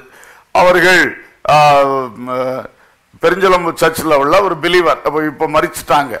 வயதான அம்மா. அவர்கள் ஒரு நாள் ஒரு கடமலை குண்டு கன்வென்ஷன் கொஞ்சம் வருஷங்களுக்கு முன்னாடி வந்து என் கையில் ஒரு காணிக்க தந்தார்கள் இது கன்வென்ஷனுக்காக பாஸ்டர் அப்படின்னு சொல்லி. அப்போ நான் ஜெபிக்க ஆரம்பிக்கும் முன்னாடி ஒரு வார்த்தை சொல்கிறேன் சொல்லிட்டு சொன்னார்கள். அவங்களுக்கு வந்து ஒரு காலத்தில் பேங்க்ல எல்லாம் எனக்கு பணங்கள் இருந்தது. நான் வந்து நல்லா இருந்துட்டு இருந்தேன். அப்புறம் வர வர எனக்கு எல்லாமே குறைஞ்சி போச்சுது. இப்போ சரி பிள்ளைகள் எல்லாம் பார்க்குறாங்க எனக்கு வேற ஒன்றும் இல்லை. பிள்ளைகள் தரதை வச்சு நான் வாழ்ந்துக்கிட்டு இருக்கிறேன். ஆனால் திடீர்னு எனக்கு ஒரு ஆர்வம். இந்த கன்வென்ஷனுக்கு நான் ஒரு ஆஃபரிங் கொடுக்கணுமே. என்று சொல்லி கையில் ஒன்றும் இல்லை பிள்ளைகள் தர்றது வாழ்க்கைக்கு சரியா போகும். என்ன பண்றதுன்னு ஜோமனிட்டே இருந்தாங்களாம் கொஞ்சம் நாட்களா. திடீர்னு ஆண்டவர் ஒரு ஏவுதலை கொடுத்தாராம் பேங்குக்கு போ அக்கௌண்ட்டை பாரு அப்படின்னு சொல்லி. இவன் அக்கௌண்ட் என்ன அக்கௌண்ட் இருக்கும்? அதில் ஒரு காசு வரக்கூடிய எந்த வாய்ப்பும் கிடையாது. அப்புறம் எதுக்கு அதை போய் பார்க்க? அங்க போயிட்டு எவ்வளவு பணம் இருக்குன்னு கேட்டா அவன் ஒண்ணும் இல்லைன்னு சொல்லுவான். கேவலப்பட்டு வரணுமேனு திரும்பவும் ரெண்டு ஒண்ணா ஜோம் பண்ணிட்டு இருந்தாங்களாம். ஆனா ஏவுதல் அதிகமா இருந்ததுனால போயிருக்கிறார்கள். அங்க பார்த்தா ஆச்சரியத்திலும் ஆச்சரியம் கொஞ்சம் பணம் வந்திருக்கு. அல்லையிலூயா அவர் சொல்ல எனக்கு யார் அனுப்புனானே தெரியல. ஆனா கொஞ்சம் பணம் வந்திருக்கு. அப்படியே எடுத்துட்டு வந்து இந்த உங்ககிட்ட தாரேன் கன்வென்ஷனுக்கு காணிக்கை. அல்லையிலூயா என்ன ஆச்சரியமா இருக்கு? கர்த்தருக்கு காணிக்கை செலுத்த. ஒரு நன்மையான காரியத்தை செய்ய அந்த உள்ளத்துல ஒரு ஆசை வந்துச்சு. ஆனா அந்த உள்ளத்துக்கு எந்த வாய்ப்புமே இல்லாமல் இருந்தது. ஆனால் அவர்கள் அதற்காக ஆண்டவர் நோக்கி ஆண்டவரே தாரும் உங்களுக்கு தாரேன். அதானே? உங்களுக்கு காணிக்கை செலுத்தணும். அதுக்கு நீங்க தான் எனக்கு தரணும் அப்படின்னு சொல்லி அவங்க ஜோம் பண்ண பொழுது இப்படி ஒரு பெரிய அற்புதத்தை கத்த செய்து அவர்களுக்கு நன்மை செய்ய உதவி செய்தார். அல்லேலூயா. நீங்களும் கூட நன்மை செய்ய விருப்பம் உங்களுக்குள் இருக்கிறது. ஆனால் முடியாத நிலையில் பொருளாதாரம் கட்டப்பட்டிருக்கிறது வருமானத்தின் வழிகள் அடைக்கப்பட்டிருக்கிறது கைகள் கட்டப்பட்டு இருக்கலாம் ஆனால் தேவ பிள்ளையே என்றைக்கும் இந்த சூழ்நிலை இருக்காது. அல்லேலூயா. கர்த்தரை நோக்கி பாருங்கள். அவர் ஒரு கட்டளை கொடுத்தா போதும். ஒரு தூதன் வருவான் இந்த சிறையிருப்பை மாற்றுவார். அல்லேலூயா. நாம நன்மையின் காரியங்களுக்கு ஆண்டவர்கிட்ட கேட்போம். ஆண்டவரே ஏன் கைனால அந்த குடும்பத்துக்கு ஒரு நன்மை செய்யணும் ஆண்டவரே. செய்யணும். எனக்கு ஒரு உதவி செய்யும். ஆச்சரியமா ஒரு சூழ்நிலையை உருவாக்கி கொடுப்பாரு. அல்லேலூயா. ஆண்டவரே என் வாய் திறந்து சொல்லிட்டேன்ப்பா. இன்னைக்கு செய்ய முடியலையா ஆண்டவரே. அதை கண்டிப்பா செய்து நிறைவேற்ற உங்களுக்கு திராணியை தருவார். எத்தனை பேர் விசுவாசிக்கிறீங்க? அல்லூயா நம்முடைய இருதயம் உத்தம இருதயமா இருக்கட்டும். நான் வாய் திறந்து சொல்லிட்டேன் ஆண்டவரே அதை நிறைவேற்றணும். அப்படி உறுதியா கேளுங்க. தைரியமா கேளுங்க. இது ஒண்ணும் தப்பு இல்லை. நம்ம நல்லது தான் செஞ்சிருக்கோம். நன்மைக்கு தான் நல்ல தீர்மானம். நம்ம எடுத்திருக்கோம் நல்ல வாக்குறுதி நம்ம கொடுத்திருக்கோம். ஆனால கர்த்தரிடத்துல உரிமையோடு கேட்கலாம். கர்த்தர் இந்த காரியத்தை வாய்க்க பண்ணுவார். அல்லேலூயா. அல்லேலூயா. சோ நன்மை செய்ய போகும்பொழுது வரக்கூடிய பிரச்சனைகள். சில இடத்துல பாருங்க ஒருவருக்கு ஒருவர் நன்மை செய்கிறார்னு பார்க்கும்போதே வீண் பொருளிகளை கிளப்பி விட்டு அந்த நன்மைகளை என்ன செய்திடுறாங்க பலர்? தடுத்து போடுறாங்க. அப்படிலாம் நிறைய செய்யறாங்க கெட்ட கெட்ட பேர்களை உண்டாக்கிற இவன் ஏன் அங்க போய் நன்மை செய்ய போனான்? இவன் ஏன் அங்க கொடுக்க போனான் இவ ஏன் அங்க போனா? இங்க வந்தா? இப்படி எல்லாம் என்னத்தையா உன்னை உருவாக்கி விட்டு அந்த நன்மைகளை என்ன செய்திருவார்கள்? கெடுத்து போடுவார்கள். வேதனையோடு இருப்பார்கள். நான் ஏன் நன்மை செய்ய போனேன்? என் பாட்டுக்கு இருந்தா எனக்கு இந்த கெட்ட பேர் இல்லையே? எனக்கு இந்த பிரச்சனை இல்லையே? இப்படியெல்லாம் வேதனைப்படுகிற பலர் இருக்கின்றார்கள். ஒருவேளை உங்களில் யார் அப்படி இருக்கின்றீங்களோ தெரியல. நன்மை செய்து பாட அனுபவிக்கிறீங்கன்னா அது கர்த்தருக்கு பிரீதியானது. அல்லேலூயா. நீங்க தீமை செய்து பாட அனுபவிப்பது வெக்கம். ஆனா நீங்க நன்மை செய்துட்டு அது நிமித்தம் இன்னைக்கு ஒரு பாட அனுபவித்து கஷ்டத்துக்குள்ளே கட்டுகளுக்குள்ளே நெருக்கங்களுக்குள்ளே அடைக்கப்பட்டு இருக்கிறீங்கன்னா சோர்ந்து போகாதிருங்கள்.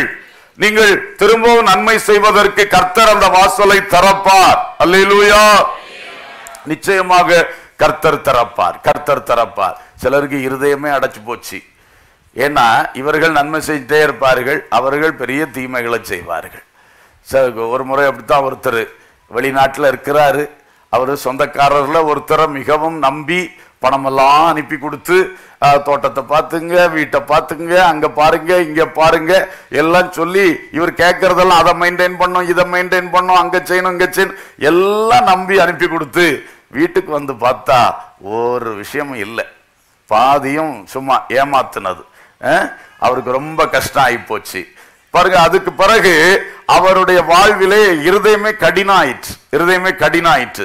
அவர் பேசும் பொழுது அந்த வார்த்தைகள் நமக்கே தாங்க முடியாது. அந்த ஆள் செய்த பெரிய தப்பு. ஆனா அந்த ஆள் நிமித்தம் அவங்க உடன் பிறந்த மற்றவங்களுக்கும் என்ன செய்ய மாட்டேங்கிறாங்க இப்போ? நன்மை செய்ய மாட்டாங்க. ஒருத்தன் தப்பு செஞ்சதுனால நன்மைக்கு தீமை செய்ததுனால இந்த ஆளுக்கு நன்மை செய்கிற அந்த ஊற்றே என்ன பண்ணிருச்சு? அடைக்கப்பட்டுருச்சு. அவ்வளவு ஒரு வேதனை. இவன் எல்லாம் இப்படிதான். ஒருத்தன் செய்தான். ஆனா சொல்றது இவனை எல்லாம் இப்படிதான் அந்நியனை வச்சு செய்யலாம். இவனோட வச்சு நம்ம என்ன செய்யக்கூடாது? செய்யக்கூடாது. ஏன் இப்படி சிலருக்கு ஒருவேளை உங்களுக்குள் யாருக்காகிலும் இப்படி இருக்கிறதா? வேற யாரும் தடை பண்ணல. நீங்களாகவே ஸ்டாப் பண்ணிட்டீங்க.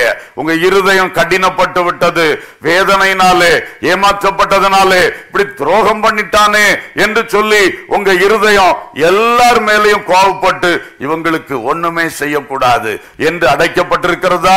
கொஞ்சம் சிந்தியுங்கள். சிலரை கர்த்தர் உங்கள் மூலம் மற்றவர்களை ஆதரிக்கும் எண்ணத்தோடு உங்களை உயர்வுக்கு கொண்டு வந்திருக்கிறார். ஒரு அல்லேலூயா. யோசைப்பை எகிப்திலே ராஜாவுக்கு அடுத்த ஸ்தானத்திலே உயர்த்தி வைத்த நோக்கம் என்ன? முதல்ல எகிப்து தேசம் பஞ்சத்திலிருந்து பாதுகாக்கப்படணும்.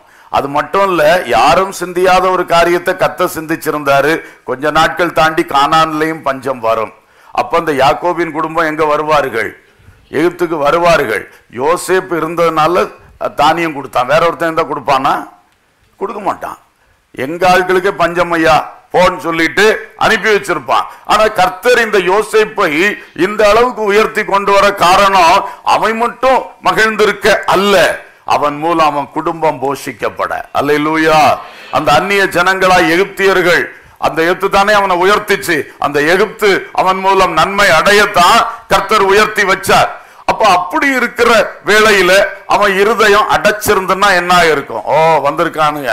தானே? நம்மளை குழியில தூக்கி போட்ட ஆட்கள் நம்மளை விற்கிறதுக்கு விலை பேசிட்டு இருந்தாங்க.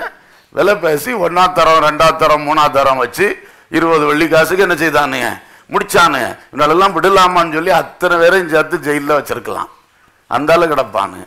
என்ன? ஆனா யோசிப்பின் இருதயம் அடைக்கவில்லை அடைக்கப்படவில்லை. அல்லேலூயா! அவன் இருதயம் இவ்வளவு துரோகத்தையும் வேதனையும் சதியும் அனுபவிச்சுக்கிட்டோம். இவனால கண்டோன்ன அவன் உள்ளம் பொங்கத்தான் செய்யுது. அல்லையா சகோதரன்மார் வந்திருக்காங்க. அப்பா எப்படி இருக்காரு?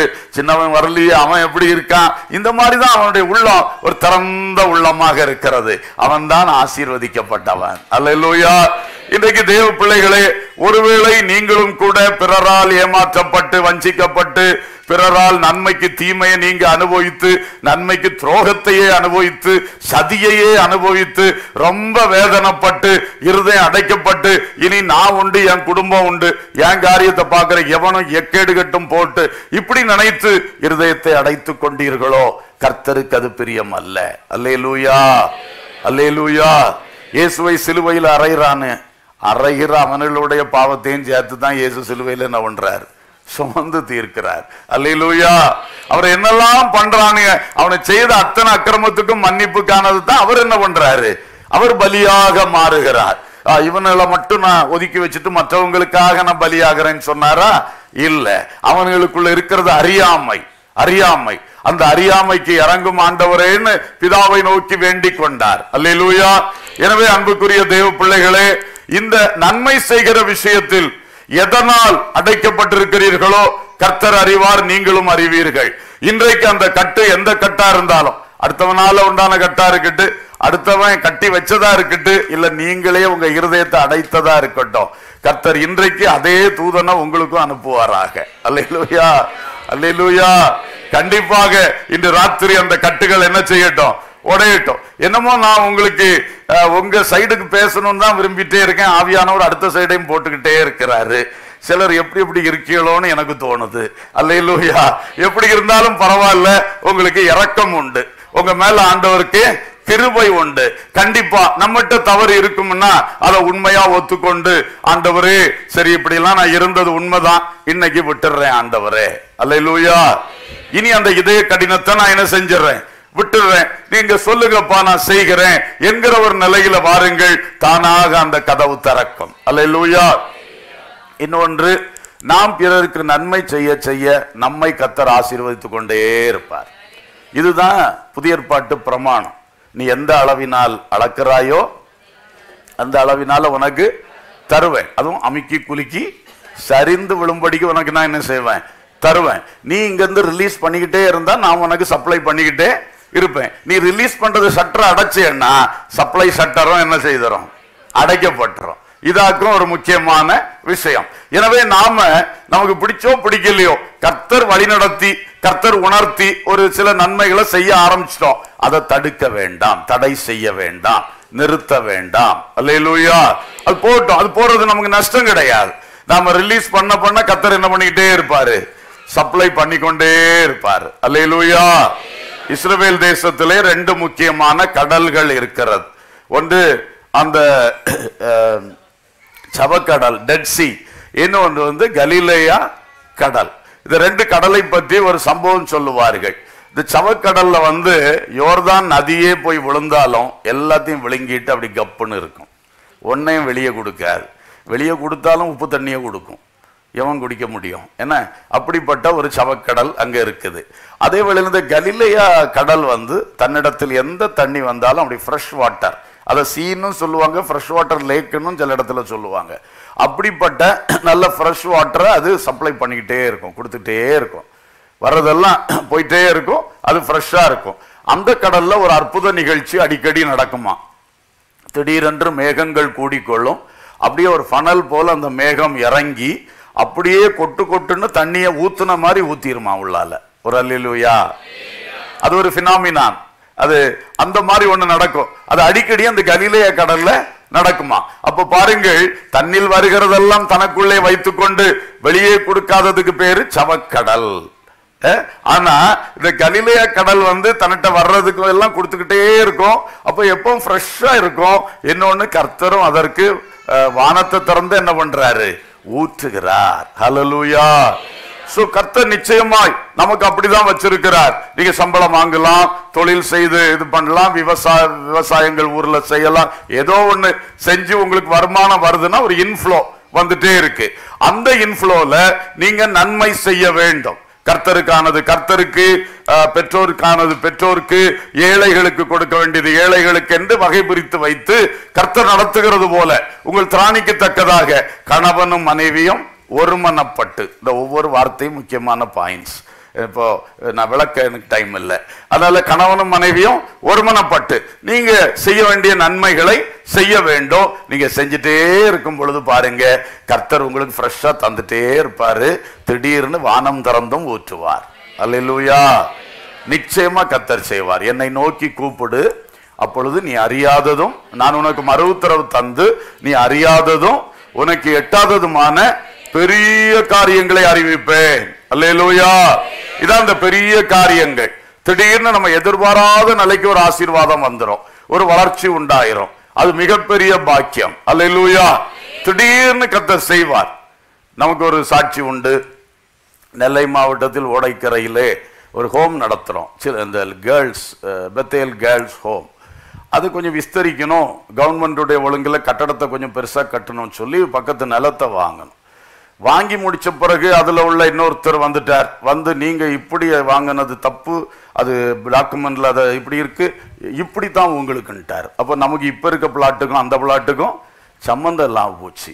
அதை போய் அவர் கேஸும் போட்டு விட்டாரு. பேசி பார்த்தா கேஸ் போட்டு விட்டாரு. ஒன்றும் செய்ய முடியாது. பார்த்து பார்த்து ஜோ பண்ணிக்கிட்டே இருந்தோம். கடைசியில் ஒரு வழியாவது தாங்கய்யா விலை கொடுத்து வாங்கிக்கிறோம். அதுக்கு இதுக்கு ஒரு இணைப்பு வரட்டுன்னா ஹை ரேட்டு சொல்லுவார். இப்படியே பண்ணிக்கிட்டு இருந்தார். ஜபத்திலே வச்சுருந்தோம். திடீர்னு அரசாங்கம் என்ன நினச்சின்னு தெரில அந்த பிளாட்டுக்கு பக்கத்தில் நல்ல டார் ரோடு போட்டு விட்டான். இப்போ விலை அப்படி மடங்கு மடங்காக என்ன செஞ்சுட்டு? ஏறி போச்சு இப்போ ஐயா யோசிக்கிறாரு அதுவே கிடைச்சா நல்லதுன்னு சொல்லி. நம்மளும் சரி பேச்சுவார்த்தை நடத்திக்கிட்டு இருக்கிறோம். அப்ப பாருங்க கர்த்தர் ஒருத்தனை டக்குன்னு ஆசீர்வதிக்கணும்னு நினைச்சா எந்த வழி அவருக்கு இருக்கு பாருங்க. எத்தனையோ வழி இருக்குது. அல்லையா எதிர்பார்க்கவே இல்லை. இப்படி ஒரு நல்ல ஒரு ரோடு வரும்னு சொல்லிக்கிட்டு. திடீர்னு அந்த ரோடு வந்ததும் காஸ்ட் ஏறி போச்சு. இப்ப பாருங்க அந்த பிரச்சனை முடியக்குள்ள ஒரு வாய்ப்பு வந்துருச்சு. அல்லையா அதனால நீங்க நல்லது செய்யும் பொழுது ஆண்டவர் உங்களை கைவிடவே மாட்டார். அல்லையா அந்த நிச்சயமாக திடீரென்று உங்களுக்கு பெரிய பெரிய வழிகளை என்ன செய்வாரு? திறப்பார். எனவே தேவ பிள்ளைகளே நன்மை செய்து இன்றைக்கு கஷ்டத்தோடு பல கட்டுகளோடு நீங்க இருக்கிறீங்கன்னா நீங்க பயப்படாதிருங்கள். கர்த்தர் அன்றைக்கு அப்போ சிலர்களை விடுவிக்க தூதனை அனுப்பினவர். நிச்சயமாக உங்களுக்கும் தூதனை அனுப்புவார். அல்லூயா அல்லூயா தீமைகளையும் நன்மையாக கர்த்தர் என்ன பண்ணுகிறவர்? முடிய பண்ணுகிறவர் நன்மைக்கு ஏதுவாய் நம்மை நடத்துகிறவர். எல்லாவற்றையும் நன்மைக்கு எதுவாக ஆண்டவர் என்ன செய்கிறாரு? நடப்பித்துக் கொண்டே வருகிறார். இந்த விசுவாசம் உங்களுக்கு இருக்கட்டும். கண்டிப்பாக நன்மைக்கு பதில் தீமையை பெற்றாலும் அவர் எல்லா தீமைகளை உங்களுக்கு நன்மையாக்கி தருவார். வாசல்களை திறந்து தருவார். கட்டுகளை உடைப்பார். அல்லேலூயா. எல்லாம் நன்மையாக என் இயேசு மாற்றிடுவார். எல்லாம் நன்மையாக தெரிந்தவர்கள் சேர்ந்து பாடுவோம். இயேசு மாற்றிடுவார். தாங்கண்ணா துன்ப துயரங்கள் தவிக்க வைக்கும் சூழ்நிலைகள்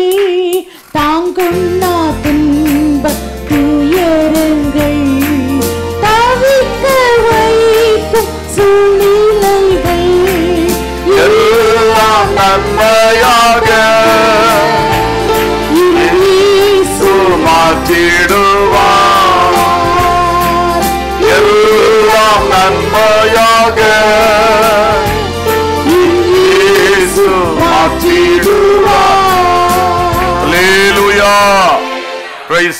ஆகவே அன்பான தேவ பிள்ளைகளே பிறரின் பொறாமையினால் அடைக்கப்பட்டிருக்கிறீர்களா? நீங்கள் நன்மை செய்வதை தடை பண்ண வேண்டும் என்று அந்த சூழ்நிலையில் அடைக்கப்பட்டிருக்கிறீர்களா? கர்த்தர் உங்களுக்காய் கிரியை செய்வார். அல்லேலூயா. அடுத்து இந்த பொதுவான சிறைச்சாலையில இவங்களை எதுக்கு போட்டாங்க? இந்த மதவாதிகள். பிரதான ஆசாரியன் சதுசேய சமயத்தார் என்று சொல்லி படிக்கிறோம். இஸ்ரவேலிலே அந்த நாட்களிலே பிரதான ஆசாரியன் என்பவர் அவர்தான் மதத்தின் விஷயத்தில் உயர்ந்த தலைவர். ஆல் பவர்ஃபுல் மேன் அது சொல்லபடிதான் எல்லாமே நடக்கணும். ரோமர்கள் அரசியல் தலைவர்கள் அரசு அவங்க கையில இருக்கு ரோமர் கையில. ஆனாலும் இந்த யூதயாவுக்குள்ள அவங்க ஆட்சி செய்யணும்னா இந்த மதவாதிகளுடைய ஒரு சப்போர்ட் இல்லாம அவங்களால என்ன செய்ய முடியாது? வெற்றியா நிக்க முடியாது. உடனே இங்க இருந்து ராயனு கம்ப்ளைண்ட் எழுதிடுவார்கள் இங்க இருக்கிற தேசாதிபதியை பற்றி ரொம்ப தொல்லை கொடுப்பார்கள். இப்படிப்பட்டது இருக்கிறதுனால அவங்களுக்கு ஒரு அதிகாரம். அந்த ரோமர்கள் இவங்களுடைய அதிகாரத்தை முழுசும் பிடுங்காம சில அதிகாரத்தை இவங்களுக்கு கொடுத்திருந்தாங்க. மத விஷயமான காரியங்கள். அதனாலதான் இவங்க இந்த மத விஷயமான காரியத்தில் இவங்களை பிடிச்சு இவங்களே ஜெயிலில் அடைக்கிறாங்க பாருங்க. ஏரோதுட்ட கேட்கல. இவ பிரதான ஆசாரியனே கட்டளை கொடுத்து என்ன பண்றான்? கஸ்டடியில கொண்டு வைக்கிறான். அந்த அளவுக்கு அவனுக்கு அதிகாரம் இருக்கிறது. அவனோடு கூட அவன் வந்து அபிஷியலா ரிலிஜியஸ் ஹெட் அவன். மதத்துக்கு அவன் தலைவர். அதோடு கூட இந்த பக்தி மார்க்கங்கள் மாதிரி நிறைய அங்க இருந்தன. அதுல ஒண்ணுதான் பரிசெய ச- சமூகம். இன்னொன்று வந்து இந்த சதுசெய கூட்டம். ஒவ்வொருத்தருக்கும் உபதேச அளவில் கொஞ்சம் வித்தியாசம் உண்டு. பரிசெயர்கள் வந்து ஒரு கூட்டம் வந்து தேவதூதர்கள் உண்டுன்னு சொல்லுவாங்க அடுத்தவன் இல்லைன்னு சொல்லுவான். ஒருத்தன் உயிர்த்தெழுதல் உண்டுன்னு சொல்லுவான் அடுத்தவன் இல்லைன்னு சொல்லுவான். இப்படி அவங்களுடைய அந்த நம்பிக்கையில் கொஞ்சம் வித்தியாசங்கள்னால தனித்தனி செக்ஸ் அவங்க எஸ்சிசிடிஎஸ் செக்ஸ் தனித்தனி அந்த கொள்கை உள்ள கூட்டத்தார். இப்படி இருப்பாங்க. இதுல இந்த அப்போஸ்தலருக்கு விரோதமா எழும்பினது குறிப்பா அந்த சதுசேய மக்கள். இவங்க எழும்பி பிரதான ஆசாரியனும் கூட சேர்ந்து அவங்க தான் இதை செய்தார்கள் மதவாதிகள். அப்ப இன்றைக்கும் நம்ம அதிகமா இந்தியா தேசத்துல நம்ம ரொம்ப பாதிப்புக்குள்ள ஆகிறது வந்து மத விஷயத்துல தான். மத விஷயத்துல ரொம்ப பாதிப்புகள் ஆகிக்கொண்டே இருக்கிறது. வேற சில தேசங்கள்ல பாத்தீங்கன்னா இனம் என்கிற அடிப்படையில பாதிக்கப்படுகிறவர்கள் இருக்கிறார்கள். சில கிராமங்கள் எல்லாம் போனோம்னா ஜாதி அடிப்படையில இன்றைக்கும் பாதிக்கப்படுகிறவர்கள் இருக்கிறார்கள். ஓவராலா பார்க்கும்போது நிறைய பேர் கிறிஸ்தவர்கள் வந்து பாதிக்கப்படுது மதத்தின் அடிப்படையில் அது அதிகமாக அந்த இது வந்து எழும்பிக் கொண்டே இருக்கிறது. ஒருவேளை இப்போ நம்ம சர்ச்சுகள் ஊழியங்கள் என்று சொல்லும் பொழுது அவைகள் இந்த மதவாதிகளுடைய தாக்குதலுக்கு உள்ளாகின்றது. அது மட்டும் இல்லை நீங்கள் தனிப்பட்ட முறையில் ஒரு ஆபீஸ்ல வேலை பார்க்குறீங்க நீங்க ஒரு கிறிஸ்துவின் சாட்சி அப்படின்னு கேள்விப்பட்டா உங்களுக்கும் பிரச்சனைகள் வருகிறது. அல்லேலூயா! மதவாதிகளால் நீங்கள் சில காரியங்களில் துன்புறுத்தப்படலாம் அல்லது அடைக்கப்பட்ட ஒரு சூழ்நிலையில் நெருக்கத்துக்குள் நீங்கள் இருக்கலாம். கல்வி ஸ்தலங்களில் கூட இது நடக்கிறது வேலை ஸ்தலங்களில் நடக்கிறது ஆபீசஸ்ல எல்லா இடத்துலயும் நடக்கிறது. ஏன்னா ஒரு விசுவாசி ஒரு தேவ பிள்ளைன்னு சொல்லும் பொழுது மற்றவங்களோடு சேர்ந்து எல்லா காரியத்திலையும் நம்ம இணைந்து போக முடியாது. கல்வி இதுல படிக்கிறவங்க நாலு பேர் சேர்ந்து டீச்சருக்கு எதிராக அவங்கள கிண்டல் பண்ணணும் அவங்கள பாடம் எடுக்க விடக்கூடாது அது செய்யணும் இது செய்யணும்னு ஒரு திட்டம் போட்டா உண்மையான தேவ பிள்ளை அதுல என்ன செய்யாது? சேராது. சேராத உடனே இவன் என்ன பண்ணுவான்? கண்டுபிடிச்சிருவான். இவன் ஏன் சேர மாட்டான் அவ ஏன் சேர மாட்டா அது நான் ஆண்டவர் பயப்படுற பிள்ளை நான் அப்படி செய்யக்கூடாது என்று சொன்னால் முன் குறித்து வச்சிருவார்கள். பிறகு எல்லாத்துலேயும் பரியாசம் பண்ணுவார்கள். எல்லாத்துலேயும் தொந்தரவு பண்ணுவார்கள். இப்படி அந்த மதத்தின் அடிப்படையில் நம்முடைய விசுவாசத்தின் அடிப்படையில் வரக்கூடிய பல பிரச்சனைகள் ஒதுக்கியே வைத்திருவார்கள். ஓ இவர் பெரிய யோக்கியன் இவரை நம்ம கிட்ட வரக்கூடாது. மற்ற காரியங்களுக்கு கூட சேர்க்க மாட்டாங்க. இந்த மாதிரி செய்வார்கள். வேலை ஸ்தலத்தில் இந்த மாதிரி நடக்கும். ஊழல் அல்லது லஞ்சம் வாங்கக்கூடிய ஒரு ஆபீஸ்னு வச்சுங்களேன் அங்க ஒரு சிஸ்டமே இருக்கும். ஒருத்தர் வாங்குபவர் அடுத்தது எல்லாருக்கும் பங்கு அதுல இருந்து போகும். அப்படி ஒரு சிஸ்டமே வச்சு செயல்படுவாங்க. அதுல இடையில ஒரு விசுவாசி தேவ பிள்ளை போய் உட்கார்ந்துட்டாருன்னா இவர் அதை என்ன செய்ய மாட்டாரு? வாங்க மாட்டார். தேவ பிள்ளை என்ன வாங்க மாட்டாரு? அமீன் தானே. அமீன் தானே அல்ல ஆமா. எல்லாத்துக்கும் அல்லையிலுயா சொன்ன முடியாது. சிலதுக்கு ஆமைன்னு சொல்லணும். ஆமைன்னா என்று அர்த்தம். அல்லையிலுயான்னா தேவனுக்கு மகிமைன்னு அர்த்தம். அப்ப பாருங்க இந்த மாதிரி இருக்கும் பொழுது இவர் மூலமாக அவங்களுக்கு வரக்கூடிய இந்த சைடு வருமானம் என்ன செய்யும் சில சமயம்? தடைபடும். அப்ப இவரை விட்டு வைப்பாங்களா? இவரை கடுமையா எதிர்ப்பார்கள். இவரை எல்லாத்துலயும் லாக் பண்ணி விடுறதுக்கு தான் அவங்க என்ன செய்வாங்க? முயற்சி எடுப்பாங்க. பண்டிகை காலங்கள் வந்துவிட்டால் அதுக்கு காசு கொடு இதுக்கு காசு கொடு எல்லாம் வருவார்கள். அப்போ ஒரு தெய்வ பிள்ளை என்ன சொல்லுவாங்க? ஐயா ஏழைகளுக்கு வேணா நான் செய்யறேன் ஆனா நீங்க இந்த மதம் சார்ந்து வருகிறதுக்கு என்னால என்ன செய்ய முடியாது? செய்ய முடியாதுன்னு உண்மையை சொல்லுவாங்க. சொல்லும் பொழுது உடனே என்ன ஆகும்? பிரச்சனைகள் வரும். இப்படி நிறைய விஷயங்கள் இருக்கு. இதனால இவனெல்லாம் உயர விடக்கூடாது அப்படி ப்ரமோஷனை லாக் பண்ணி வச்சிருக்கிற இடங்கள் உண்டு. இவனை எல்லாம் செயல்பட விடக்கூடாதுன்னு சில காரியங்கள்ல கையை கட்டி வைத்திருக்கக்கூடிய இடங்கள் உண்டு. இப்படி மதவாதிகளால் உங்களுடைய கல்வி ஸ்தலங்களிலே அல்லது வேலை ஸ்தலங்களிலே சமுதாயத்திலே கூட சில பிரச்சனைகள் வருகிறது. அப்படி நீங்கள் அடைக்கப்பட்டிருக்கின்றீர்களா? நமக்கு உத்தரப்பிரதேசத்திலே மொராதாபாத் என்கிற ஒரு ஊழிய ஸ்தலம் இருக்கின்றது. கொஞ்சம் வருஷங்களுக்கு முன்னாடி நீங்க கூட கேள்விப்பட்டிருப்பீங்க. அதாவது அது ஒரு கால் இல்லாத ஒரு சகோதரன். அவர் அந்த ஒரு குறிப்பிட்ட கிராமம் அந்த கிராமத்துடைய பேர் இப்ப மறந்துட்டேன். அந்த கிராமத்திலிருந்து மொராதாபாத்ல இருக்கிற நம்ம சர்ச்சுக்கு வருவார். நல்ல விசுவாசியாய் மாறினார். அவர் தன்னுடைய கிராமத்திலிருந்து ஒரு சிலரை கூட கூட்டிக்கிட்டு வருவார். இப்படி வரும்பொழுது ஒரு முறை அந்த கிராமத்தில் உள்ள மற்றவங்க கோவப்பட்டு இவருக்கு விரோதமாக பல தடைகளை விதித்து இவரை அடைத்து வைக்க ஆரம்பித்தார்கள். நீ தெரு பைப்பில் தண்ணி எடுக்கக்கூடாது உங்கள் வீட்டார் என்ன செய்யக்கூடாது? தண்ணி எடுக்கக்கூடாது இந்த கிராமத்துக்குள்ள இந்த தெரு இந்தந்த தெருவில் இருக்கக்கூடிய கடையில் போய் நீ ஜாமானம் வாங்கக்கூடாது அப்புறம் ஒரு நதி இருக்குது அந்த நதியை கிராஸ் பண்ணி போகிறதுக்கு இந்த சின்ன சின்ன போட் வச்சுருப்பாங்க. படகு. படகு நீ என்ன செய்யக்கூடாது? பயன்படுத்தக்கூடாது. இப்படியெல்லாம் தடுத்து வைத்திருந்தார்கள். எதுக்கு இவர் இந்த அடைக்கப்பட்ட சூழ்நிலையில மாறினார்னா இயேசுவின் மேல் வைத்த விசுவாசத்துக்காக. மத விஷயத்தில். இந்த மதவாதிகள் இப்படி செய்தார்கள். ஆனா அந்த மனுஷன் உறுதியா நின்னாரு. அந்த ஒத்த காலை வச்சுட்டு அந்த ஆற்றில நீந்தி போய் இவர் தன்னுடைய பணியை செய்து வந்தார். அல்லேலூயா. ஏன்னா இவருடைய வயல்கள் இவர் வேலை செய்கிற வயல் நிலம் அங்க இருக்கு ஆற்றுக்கு அந்த பக்கம். மற்றவங்கெல்லாம் மற்றவங்க எல்லாம் போட்ல போவாங்க இவருக்கு அனுமதி கிடையாது.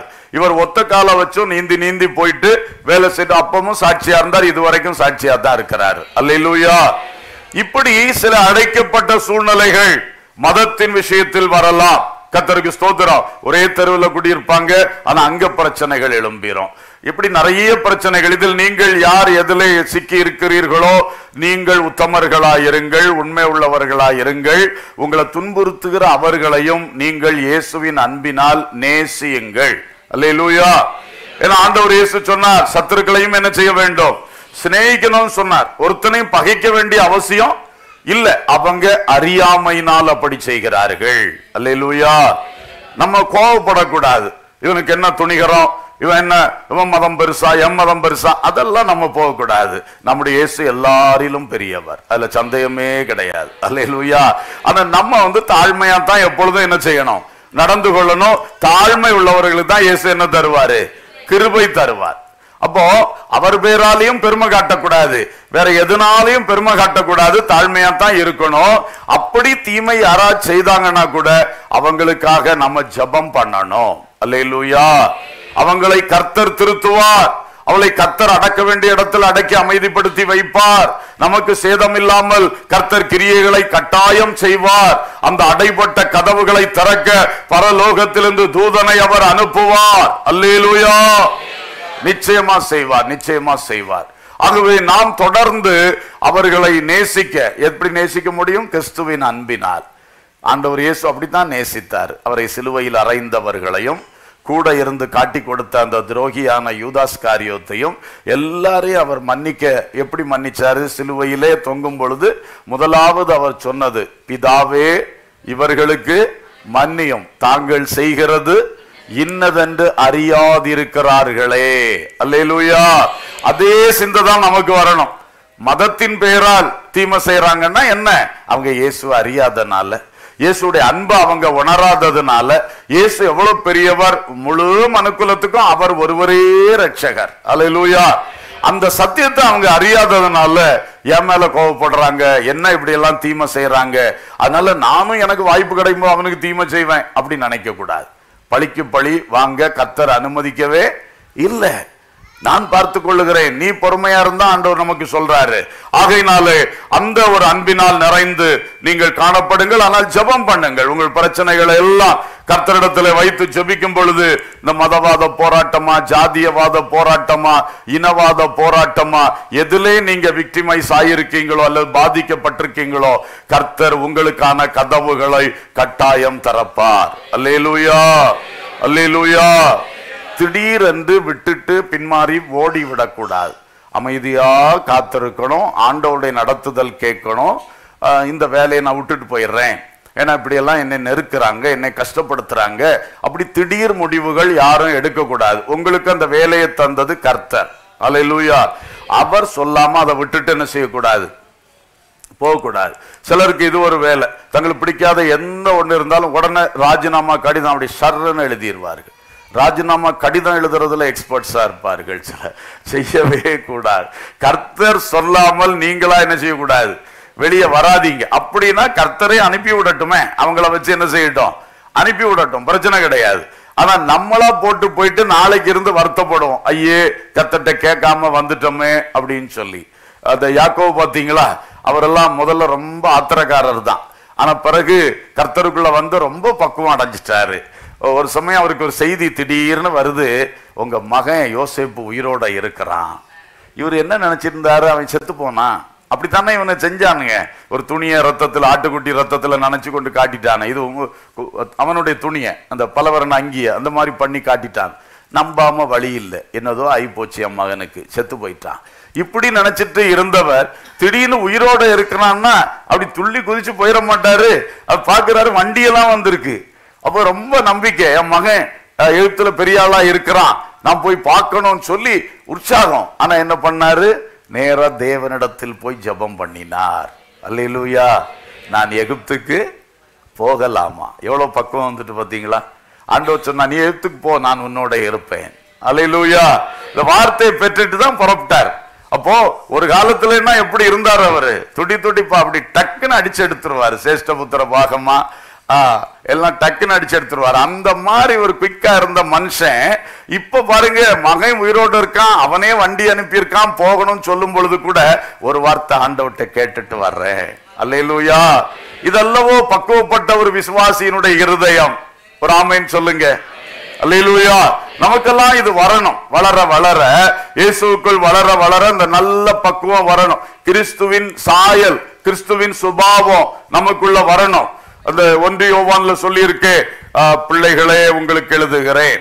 வாலிபர்களே உங்களுக்கு பிதாக்களே உங்களுக்கு. அது வந்து எழுத்தின்படி பிள்ளைகளுக்கும் வாலிபர்களுக்கும் சொல்லல. கிறிஸ்துவில் பிள்ளைகளுடைய நிலைமையில் இருக்கிறவர்களே கிறிஸ்துவில் வாலிபத்தின் நிலைமையில இருக்கிறவர்களே கிறிஸ்துவுக்குள் பிதாக்களின் நிலைமையில இருக்கிறவர்களே. அப்போ இதில் உலகத்தில் சின்ன வயசாக இருந்தால் கூட அந்த கிறிஸ்துவோடு பழகி பழகி வசனங்களை படித்து படித்து அங்கே ஒரு பிதாக்களின் நிலைமை உள்ளத்தில் உருவாக முடியும். அல்லேலூயா. வயசை வச்சில்ல. இது ஆவிக்குரிய அந்த அந்த அந்த மெச்சூரிட்டி அந்த பக்குவத்தை வைத்து சொல்லப்படுகிறது. அல்லேலூயா. அ- அதனால உங்க வேலையோ கல்யாண விஷயமோ எந்த காரியமா இருந்தாலும் எல்லாமே அனுகூலம். ஆ, வாசல் திறந்துட்டு அப்படி நினைச்சாலும் ஆண்டவரே நான் என்ன செய்யட்டப்பா? இது வேணும். அல்லேலூயா. எல்லாம் கண்ணுக்கு காண்றது நல்லா இருக்கு சொல்றதெல்லாம் நல்லா இருக்கு எல்லாம் பார்த்தா கரெக்டா தெரியுதுன்னு குதிச்சிடக்கூடாது. அந்த பவுலை கொண்டு போன கப்பல் தலைவன் என்ன பண்ணா பவுல் சொன்னா இப்ப யாத்திரை போகாதீங்க. இந்த துறைமுகத்துல கப்பல் நிக்கட்டும்.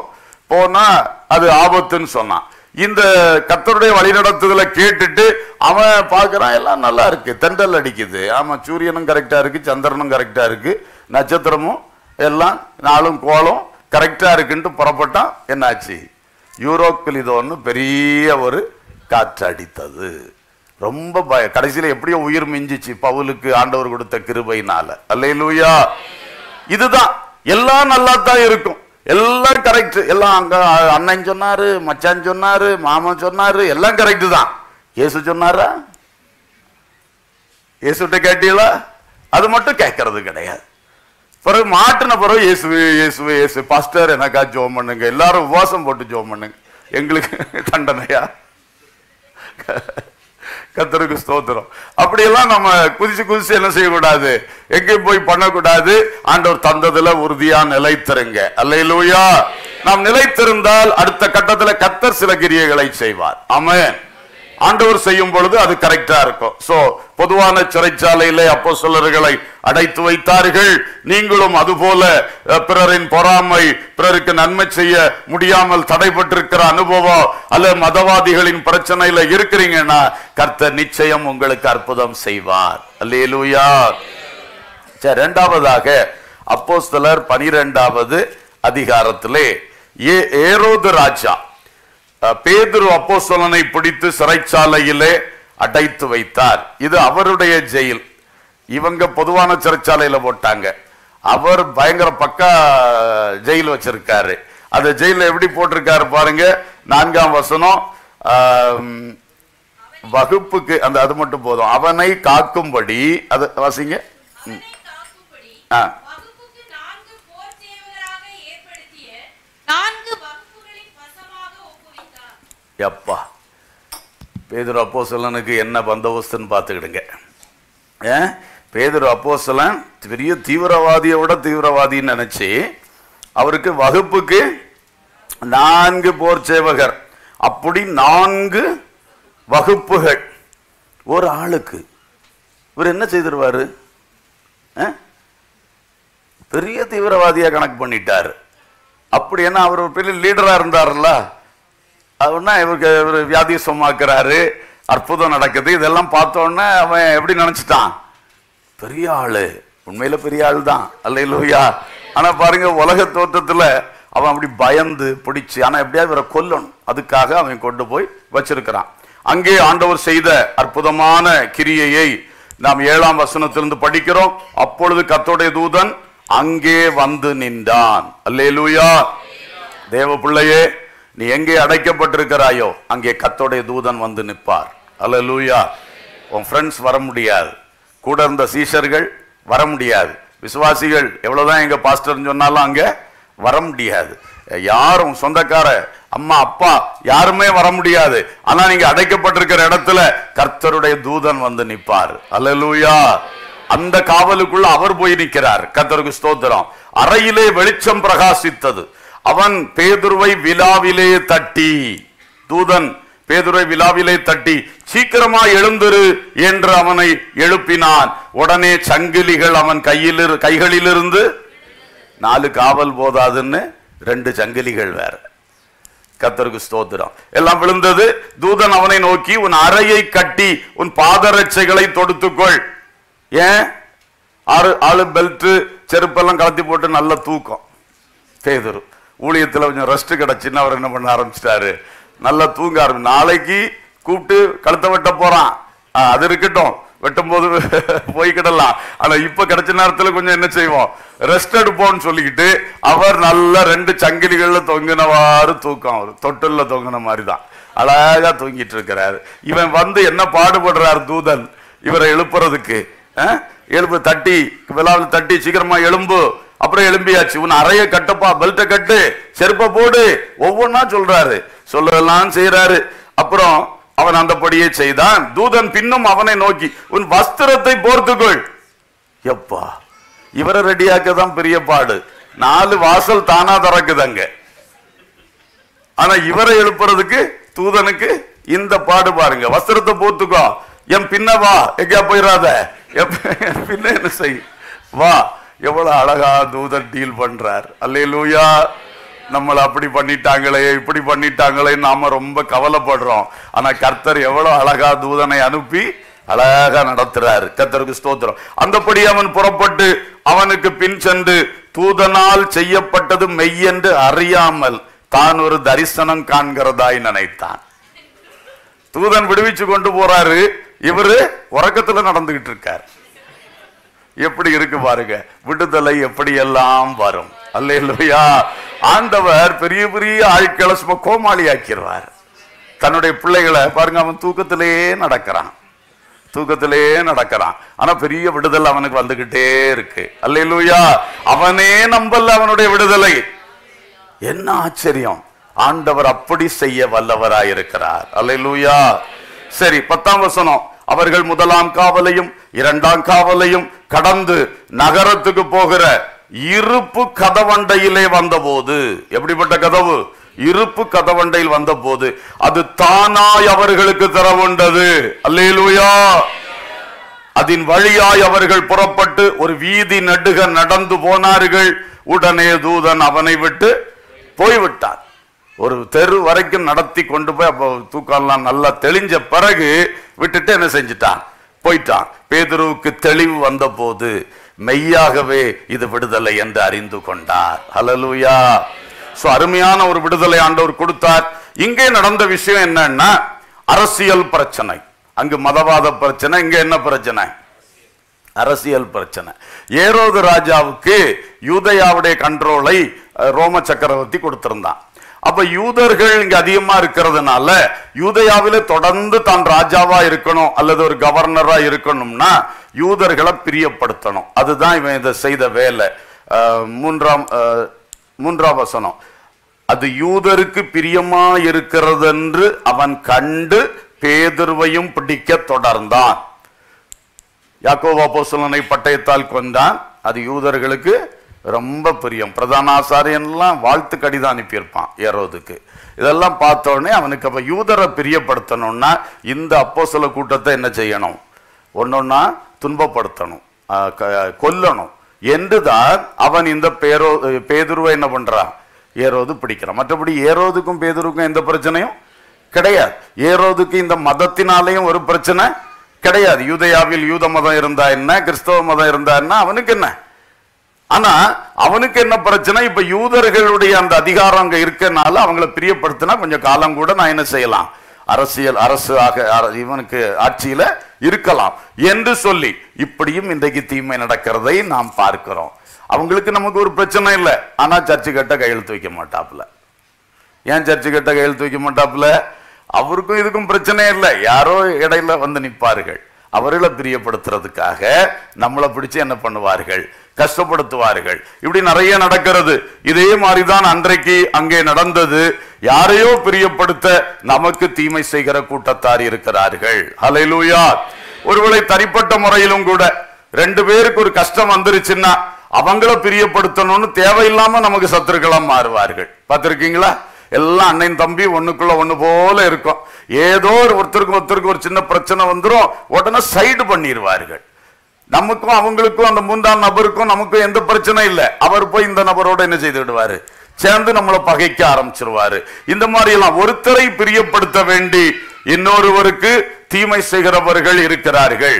இது மாதிரி இன்றைக்கு அஹ், கர்த்தருடைய காரியங்களிலும் நாம் இந்த சில வேளைகளில் இப்படிப்பட்ட பிரச்சனைகளை சந்திக்கிறோம். அப்படி இருக்கும் பொழுதும் கர்த்தர் பேதுருவுக்கு விடுதலை கொடுத்தவர் நமக்கும் விடுதலை கொடுக்க வல்லமை உள்ளவர் அல்லேலூயா.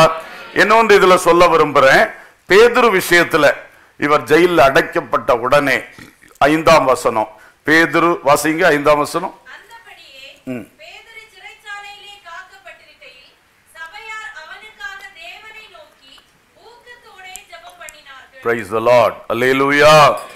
முதல் சம்பவத்துல இப்படி எல்லாம் நம்ம பார்க்கல.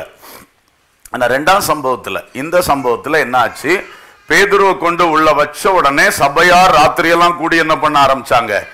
ஜெபம் பண்ண ஆரம்பித்தார்கள். அப்ப அந்த ஜபத்துக்கு உடனே விடுவதற்குள்ளே அந்த ஜெபத்திற்கு பதில் வந்தது. அல்லேலூயா. ஸோ கத்தர் இந்த கதவை திறந்தது. அரசியல் மூலமாக கிறிஸ்துவின் சபைக்கு வந்த ஒரு பயங்கரமான தீமையை அகற்றி கதவை திறந்து வெளியே கொண்டு வந்தார். அல்லேலூயா. அடுத்ததாக அங்கே நடந்த விஷயத்தை பார்க்கிறோம் சொன்னா ஜெபத்துக்கு உடனடி பதிலாக கர்த்தர் இந்த சிறைச்சாலையின் வாசல்களை கதவுகளை என்ன பண்ணாரு? திறந்தார். லூயா சோ இங்கே நல்ல ஒரு பாடம் நமக்கு இருக்கிறது. எந்த காரியத்தினாலே நாம் சிறையில் அடைக்கப்பட்டது போல வாழ்க்கை அடைக்கப்பட்டிருக்கிறதோ அதற்கு ஜெபம் பண்ண வேண்டும். ஹalleluya சிலர் கூடி ஜெபிப்பது ரொம்ப பிரயோஜனம் சில வேளை நம்ம தனியா ஜெபிக்கிறோம். ஆனா அந்த தனி ஜெபத்துல சில இக்கட்டு துன்பம் நெருக்கம் வரும்பொழுது நிற்க நிக்க முடியல. ஏன்னா மனசை நிறைய பாதிக்குது. அந்த மனசோட தனியா ஜெபிக்கும் பொழுது சில வேளை நிக்க முடியல. எசைக்கியா ராஜா தனியா ஜெபித்து ஜெபித்து பார்த்தார். கடைசியில ஏசாயா தீர்க்கதரிசிக்கு செய்தி அனுப்பினார். ரெண்டு பேரும் சேர்ந்து ஆண்டோர் நோக்கி கூப்பிட்டார்கள். அசீரியன் ஓடியே போனான். அல்லேலூயா. தானியேல் பெரிய ஜெப வீரன்.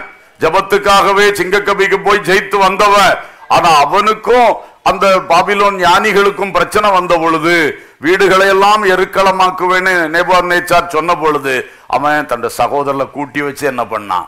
ஜெபம் பண்ணான். ஒரு கூட்டு ஜெபம். சேர்ந்து ஜெபித்தார்கள். ஆண்டவர் அன்றைக்கு தானியலுக்கு வெளிப்பாட கொடுத்தாரு. அற்புதமா எல்லா ஞானிகளுடைய வீடும் பாதுகாக்கப்பட்டது. அல்லேலூயா. கெச்சமனை தோட்டத்திலே மகாபெரிய உலகத்தின் பாவபாரத்தை இயேசு சுமக்க போகிறார். சிலுவையை அரு- சிலுவைக்காக அர்ப்பணித்து அவர் பெரிய ஒரு காரியத்துக்குள்ள கால் எடுத்து வைக்க போறார். பேதர்வே யோவானே யாக்கோபே கூட வாங்க சேர்ந்திருந்து ஒரு மணி நேரமாவது என்ன பண்ணுங்க? விழித்திருங்கன்னு சொன்னாரு. சோ இந்த மாதிரி ரொம்ப இக்கட்டுகள் ரொம்ப அடைக்கப்பட்ட காரியங்கள் இருக்கும் பொழுது தேவ பிள்ளைகளே ஒரு சிலர் சேர்ந்து உட்கார்ந்து வல்லமையா ஜோம் பண்ணுங்க கர்த்தர் அற்புதங்களை செய்வார். அல்லேலூயா. நீங்க வந்து லைக் மைண்டட் பீப்புள் அல்லது ஆஹ், ஒரே ஆவி உள்ள மக்கள்னு சொல்லுவார்கள். அப்படிப்பட்ட ஒரு ரெண்டு மூணு பேரை சேர்ந்து இருந்து ஜெபிக்கும் பொழுது விடுதலை உண்டாகும். அல்லேலூயா. இப்ப ஜெபிக்க கூப்பிட்டு வச்ச ஆளே இவன் எந்தாலையும் அணிஞ்சு போட்டுன்னு நினைக்கக்கூடிய ஆளாக இருந்தால் அந்த ஜபத்தில் எப்படி வருமானம் வரும் இல்லையா? நான் நடைமுறையாக சொல்லுவேன் தப்பாக எடுத்துடக்கூடாது. ஏன்னா சில இடத்துல இதெல்லாம் நடக்குது. அங்கே போய் ஊக்கமாக ஜெபிப்பார்கள் இந்த பக்கம் போய் இவனுக்கு இதுவும் வேணும் அடுத்ததும் வேணும்னு சொல்லி அங்கே பேசுவாங்க. புறம் புறங்கூறுகிற ஆட்கள் உண்மை இல்லாத ஆட்கள். இப்படிப்பட்டவங்களை கூட்டி வச்சு ஜெபிக்கணும்னு நான் சொல்லலை. உங்கள் பிரச்சனைக்கு உண்மையாக சரி என் சகோதரன் கட்டப்பட்டிருக்கிறான். இந்த குடும்பம் கஷ்டப்படுது. நம்மளும் கொஞ்ச நேரம் போய் ஜோம் பண்ணுவோம். சேர்ந்து அந்த ஒத்த ஆவியோட ஒரே வைராக்கியமா ஆண்டவரே இவங்களை விடுவிச்சு தான் ஆகணும் என்கிற அந்த வைராக்கியத்தோடு ஒரு ரெண்டோ மூணோ பேர் உட்கார்ந்து ஜோம் பண்ணுங்க. அந்த பாயிண்ட்டுக்கே ஜோம் பண்ணுங்க. ப்ரோக்ராமே வேண்டாம். அப்படியே ஜோம் பண்ணுங்க. அந்த காரியத்தை சொல்லி சொல்லி ஆண்டவர்கிட்ட திரும்ப திரும்ப கேளுங்க. அந்த கட்டு உடையும். அங்கே தூதனை இறங்க பண்ணுவார். அல லூயா இப்படிதான் அவங்க செய்தாங்க. அன்னைக்கு அந்த ஜெபத்துக்கு நோட்டீஸும் கிடையாது வால் போஸ்டும் கிடையாது ஒன்றும் கிடையாது. சபையில் அறிவிப்பும் கிடையாது. திடீர்னு அரெஸ்ட் பண்ணியாச்சு உடனே செய்தி போகுது. எனக்கு நான் ஆராய்ச்சி பண்ணி பார்த்தேன். ஒரு அப்போஸ்தலர் கூட அதில் இருந்ததாக தெரியல. அவன் தனியாக இருந்து ஜெயிப்ப ஜெபிச்சிருப்பார்களோ என்று நினைவுக்கிறேன் என்ன செய்தார்களோ தெரியல. ஆனால் கூடி ஜெபித்ததெல்லாம் யாருதான்? ஒரு கூட்டம் மக்கள் விசுவாசிகள். போதும். அதுக்கு ப்ரோக்ராம் இல்லை லீடர் இல்லை யாரும் கிடையாது. அழகாக அங்க ஜெபம் நடக்குது. அந்த ஜெபம் முடியதுக்குள்ள பரலோகம் கிரியை செய்தாச்சு. அல்லேலூயா. தூதன் அங்க இறங்கி போயாச்சு. எல்லாம் காவல் கட்டு சங்கிலி எல்லாம் உடைந்து போயாச்சு. ஹalleluya இப்ப பெரிய ஒரு அற்புத கிரியை என்னன்னா அவன் விடுதலை பெற்று கதவை தட்டுறான். ரோதைன்னு ஒரு பெண் ரொம்ப ஸ்மார்ட் கேர்ளா இருப்பா போலக்கு ஓடி போய் கதவை திறக்கிறா. திறந்தா பேதுரு நிக்கிறா. அவளுக்கே அதிர்ச்சியாச்சு கதவை திறக்காமலே ஓடி வந்துட்டா. என்ன ஜெபிக்கிறது எதுக்கு? பேதுருவை விடுதலையாக்கும். அவர் வந்து நின்னா கதவை என்ன செய்ய மாட்டார்கள் திறக்க மாட்டா வந்து சொல்ல பேதுரு நிக்கார் பேதுரு நிற்கார் அப்போ எல்லாரும் அப்படி எப்படி வர முடியும்? என்ன ஜெபம் பாருங்க. அது எப்படி வருவார்? அவருக்கு ஆவியா இருக்குமோ? இப்படிப்பட்டவர்கள் கூடி ஜெபித்து இவ்வளவு பெரிய அற்புதம் நடந்ததே அதுக்கு ஒரு அலுவலியோ சொல்லுவோம். அப்ப நமக்கெல்லாம் தைரியம் நம்ம ஜெபிக்கலாம். அல்லேலூயா. நம்ம ஆதி அப்போ ஆதி ஆதி விசுவாசிகள் ஜெபித்த ஜெபம் வல்லமையான ஜெபம் ஆனா நம்பிக்கை இல்லாத விசுவாசம் இல்லாத ஜெபம் போல. ஆனா அதுக்கே கர்த்தர் அற்புதம். என்ன பெரிய அற்புதம். அலையிலூயா அதனால உண்மை நீங்க கொஞ்சம் பேர் கூடி ஜெபிச்சீங்கன்னா பெரிய பெரிய காரியம் நடக்கும். அலையிலூயா அதுதான் பைபிள் நமக்கு கற்றுத்தருகிற அழகான பாடம். எனவே நல்லா அந்த மாதிரி பிரேயர் பண்ணுங்க ஆண்டவர் விடுதலை தருவார். இது ஊழியங்களும் இப்படிப்பட்ட பிரச்சனை வரும்போது நம்ம செய்தி அனுப்புறோம். அப்பவும் இப்படிதான் டைம் இருந்தா ஒரு ரெண்டு மூணு கூடி ஜோம் பண்ணுங்க. ஒரு ஒன் ஹவர் நல்லா ஃபோல்ஸா ஜோம் பண்ணிட்டு போங்க. அந்த ஜெபம் ஏறெடுக்கப்படும். கத்தர் கிரியை செய்வார். ஹலை லூயா இப்படி நல்ல ஒரு ஊக்கமான ஜபத்தினால அந்த ஜெபத்துக்கு உடனடி பதில் கொடுப்பதற்கு கத்தர் அந்த கதவுகளை என்ன செஞ்சாரு? திறந்தார். லூயா அடுத்தது பாருங்கள் அடுத்து நடந்த சம்பவம் பத்தொன்பதாம் வசனத்துல இருக்கு. ஏரோது இங்க ஜெயிலுக்குள்ள ஆள் இல்ல. இப்படி எல்லாம் ஆகி போச்சுன்னு அறிஞ்ச உடனே ஊரை காலி பண்ணி ஓடி போனான் யாரு? ஏரோது ராஜா. அப்போ தெரியாம போய் பேதுரு மேல கை வச்சுட்டு இப்ப ஓட்டம் பிடித்தார். இதெல்லாம் நடக்கும். அல்லேலூயா. யார் யார் மேலேயோ கை வச்சு கடைசியிலையும் கொண்டு கை வச்சான். பேதுரு மேலே வைக்கக்கூடாத இடத்துல கை வச்சான் மாட்டிக்கிட்டான். இது மாதிரி தான் சிலர். சும்மா அடுத்தவனை தொந்தரவு பண்ணதான் வேலை. அவனுக்கு அந்த தொந்தரவுக்கு முடிவு கட்டுறதுக்கு தான் கத்தர் நம்மளை தொட வைக்கிறது. நம்ம உடனே பயந்துடக்கூடாது. அநேகரை தொட்டு பார்த்துட்டு கடைசியில் எங்கே வருவான்? அவனுக்கு இதுக்கு ஒரு முடிவு உண்டாகிறதுக்கு நம்மளை வந்து தொடுவான்.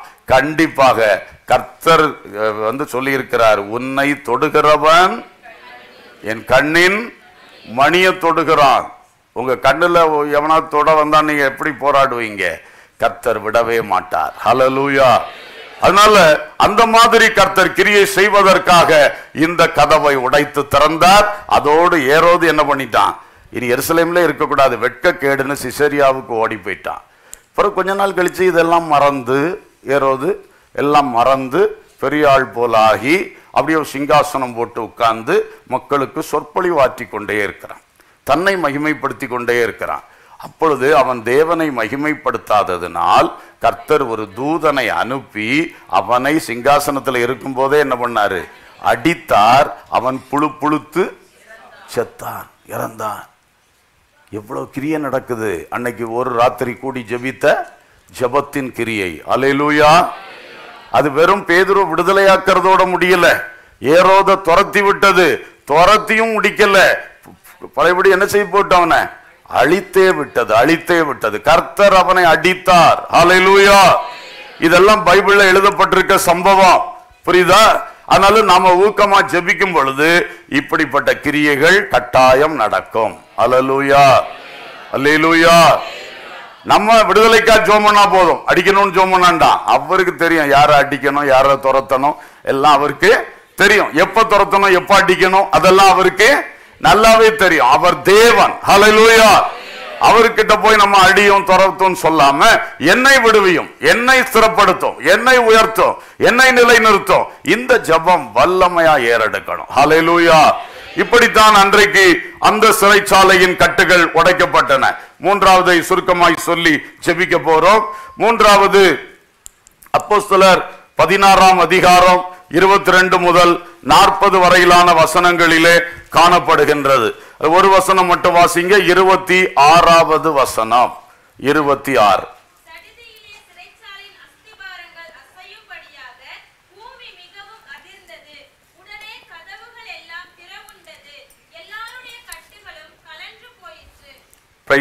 கதவுகள் எல்லாம் திறவுண்டன சிறைச்சாலையின் அஸ்திபாரங்கள் அசைக்கப்பட்டு ஒரு பெரிய பூமி அதிர்ச்சி வந்து அசைக்கப்பட்டது. எப்போ? பவுலும் சீலாவும் பிலிப்பி பட்டணத்தில் சிறையில் வைக்கப்பட்டார்கள். அப்பொழுது அன்று ராத்திரி கர்த்தர் செய்த அற்புதம். அவர்களை நன்றாக அடித்து காயப்படுத்தி அவருடைய கால்களை தொழுமரத்திலே கட்டி வைத்து அடித்த காயங்கள் வலித்தால் கூட தடவ முடியாத அளவுக்கு அவங்கள கட்டி வைத்து ரொம்ப வேதனைப்படுத்தினார்கள். இவர்களால் வேதனை தாங்க முடியவில்லை. ஆகவே அவர்கள் அஹ், வந்து என்ன செய்ய ஆரம்பிச்சாங்க? ஜெபம் பண்ண ஆரம்பிச்சாங்க. துதிக்க ஆரம்பிச்சாங்க பாட ஆரம்பிச்சாங்க. அல்லேலூயா. வேதனை தாங்க முடியாமல் ஒவ்வொருத்தர் புலம்புவார்கள். மற்றவர்களை குற்றம் சாட்டுவார்கள் முறுமுறுப்பார்கள் வாயில வந்தபடி பேசுவார்கள். இல்ல ஐயோ அப்போ என்று சத்தம் போடுவார்கள். ஆனால் அப்போ சிலர்கள் இவர்கள் எதை தெரிந்து கொண்டாங்க? எங்களுக்கு வேதனை தாங்க முடியல. அதனால இயேசுவேன்னு ஜெபிக்க ஆரம்பிச்சாங்க. அப்புறம் ஆண்டவரை துதிக்க ஆரம்பிச்சாங்க. ஏன் ஆண்டவரே உங்களை பத்தி பிரசங்கம் பண்ணதுக்கு அந்த பிசாசை துரத்துனதுக்கு இந்த மாதிரி எங்களை ஒப்பு கொடுத்துட்டீங்களே அப்படியெல்லாம் அவங்க சொல்லல. கர்த்தரை துதிக்க ஆரம்பிச்சாங்க. அல்லேலூயா. அடுத்தது பாட்டு. பாட்டு வருமா? இப்படிப்பட்ட நேரத்தில் பாட்டு வருமா?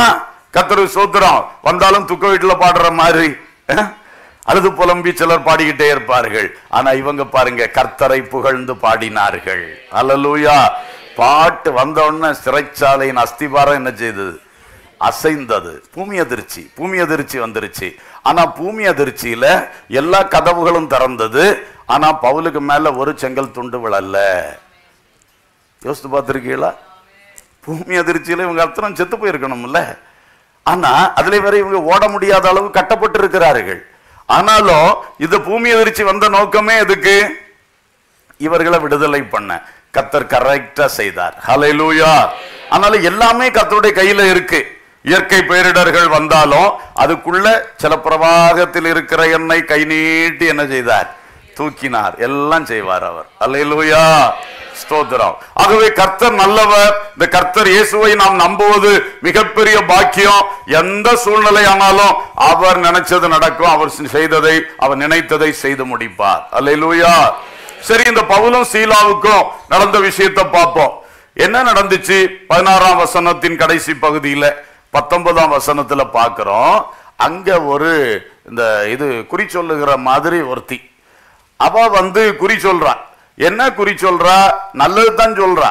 இவர்கள் உன்னதமான தேவனுடைய ஊழியக்காரர்கள்னு இவர்களை பற்றி உண்மைய சொல்றா. ஆனா அவ சொல்லி சொல்லி வரும் பொழுது பவுல் பார்த்தார் இந்த பிசாசு இப்படி எல்லாரையும் நம்மளை வந்து இது பண்ண பாக்குதா என்று சொல்லி இதை ஒரு நாள் துரத்துவோம்னு சொல்லிட்டு திடீர்னு ஒரு நாள் ஆவியில வைராக்கியம் கொண்டு இந்த பிசாசை என்ன பண்ணாரு? துரத்தினார். அதோட அவளுக்கு குறி சொல்ற ஆவி ஓடி போச்சு இப்ப அவ அவளை வச்சு நிறைய பேர் ஆதாயம் எடுத்துக்கிட்டு இருந்தான். இவ கு- இவளை குறி சொல்ல வச்சு அவங்களுக்கு ஆதாயம் தேடுறது.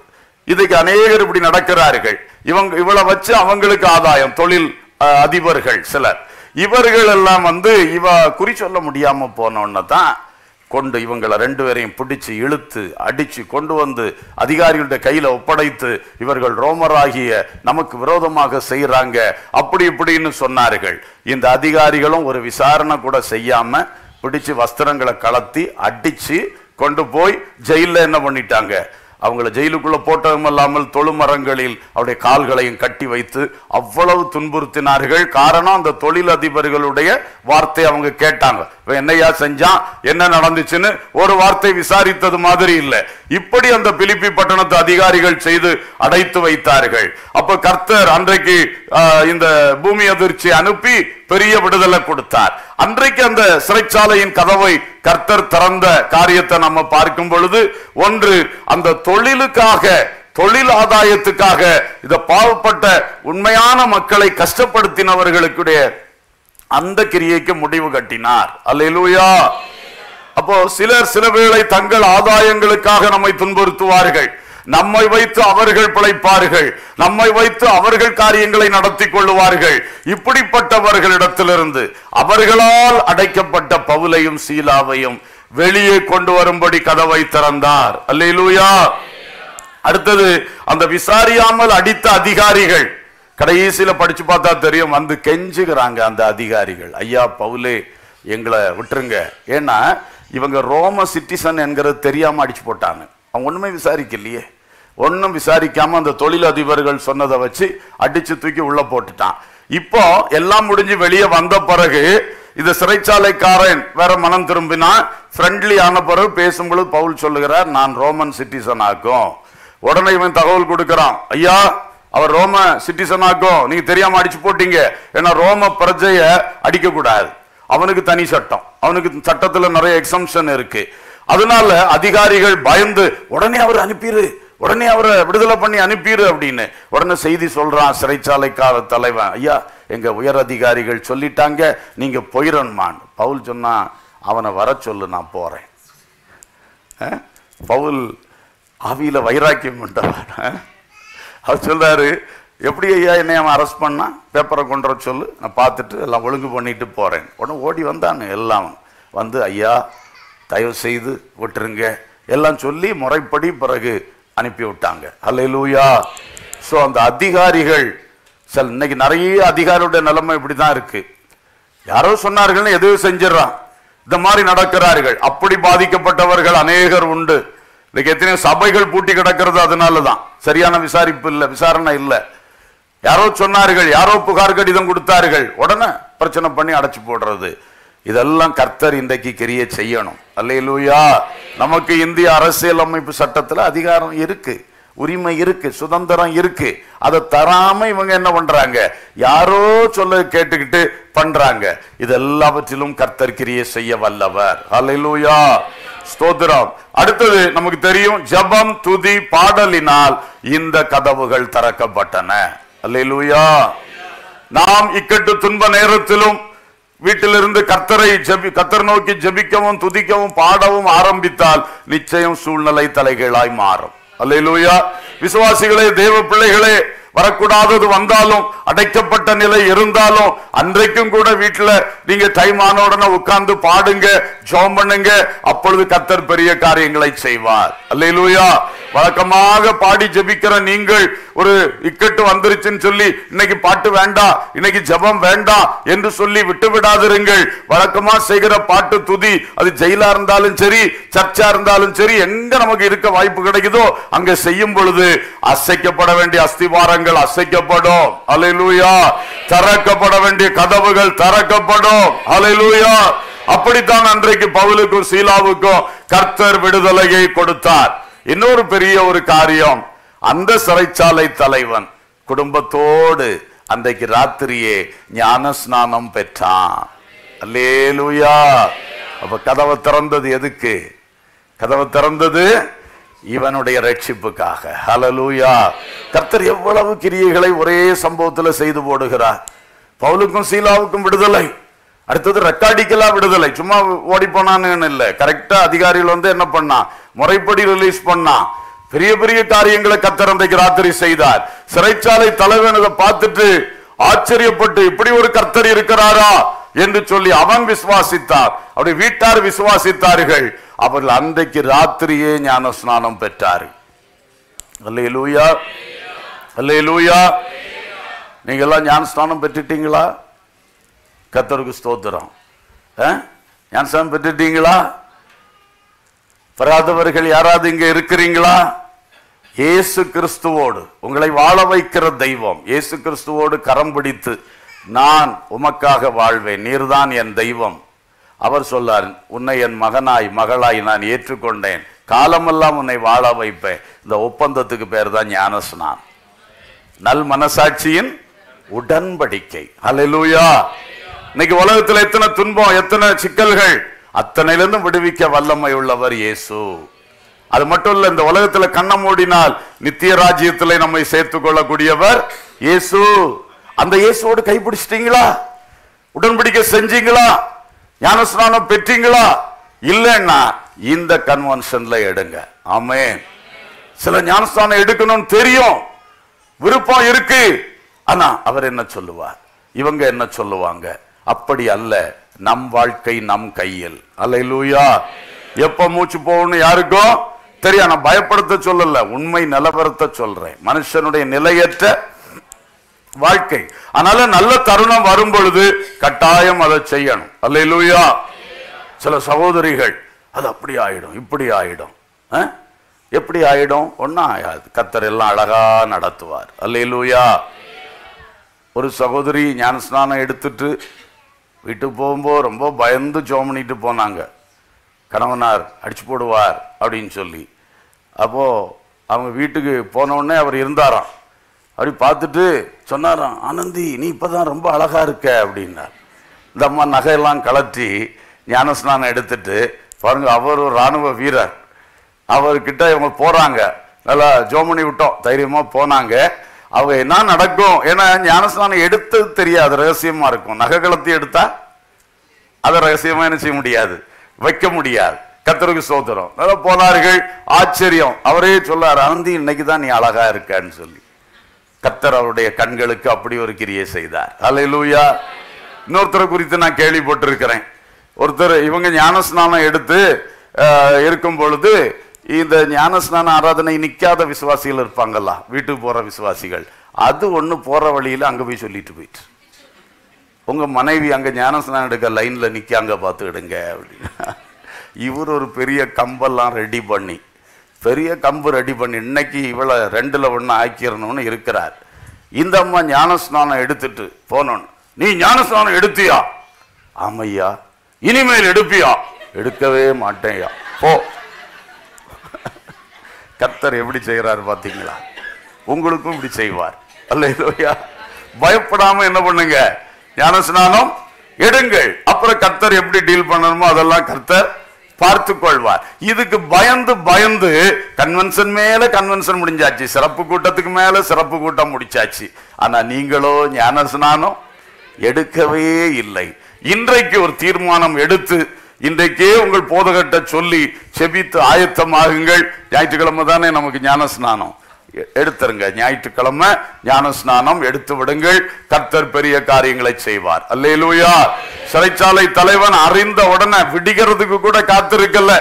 விடியட்டும் பார்க்கலாம். என்று இருக்கல. அன்றைக்கு ராத்திரியே அவன் ஞானஸ்நானம் பெற்றான். அல்லையிலூயா அப்ப நம்முடைய சப்ஜெக்டுக்குள்ள வருவோம். கர்த்தர் இப்படிப்பட்ட கிரியை செய்வதற்கு கட்- முடியாமல் கட்டப்பட்டிருந்த பவுலை அவர் திறந்து விட்டார். சிறைச்சாலையின் கதவுகளை திறக்கிற கர்த்தர். ஹalleluya ஆண்டவர் இப்படி பெரிய காரியங்களை உங்கள் வாழ்விலும் செய்வாராக.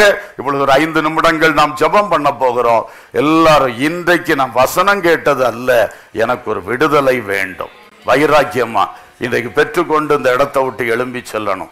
வீட்டில் போகும்பொழுது அங்கே அற்புதங்களை காணணும். ஒரு ராத்திரிக்குள் சிறைச்சாலையில் நடந்த அற்புதம் நம்முடைய வீட்டிலே நம்முடைய அந்த அற்புதம் செய்யப்பட வேண்டிய இடத்திலே செய்யப்படும். விசுவாசத்தோடு கர்த்தரை எல்லாரும் நோக்கி பார்க்கலாம். ஹalleluya சிறைச்சாலை கதவுகள் திறந்திடுமே. துதிக்கின்ற வேளையிலே. பாடுவோம். சிறைச்சாலை கதவுகள் திறந்திடுமே. துதிக்கின்ற வேளையிலே. கடுமை கடுமையான சூழ்நிலைகள். சூழ்நிலைகள். கடுமையான மாறிடும் துதிக்கும் போது.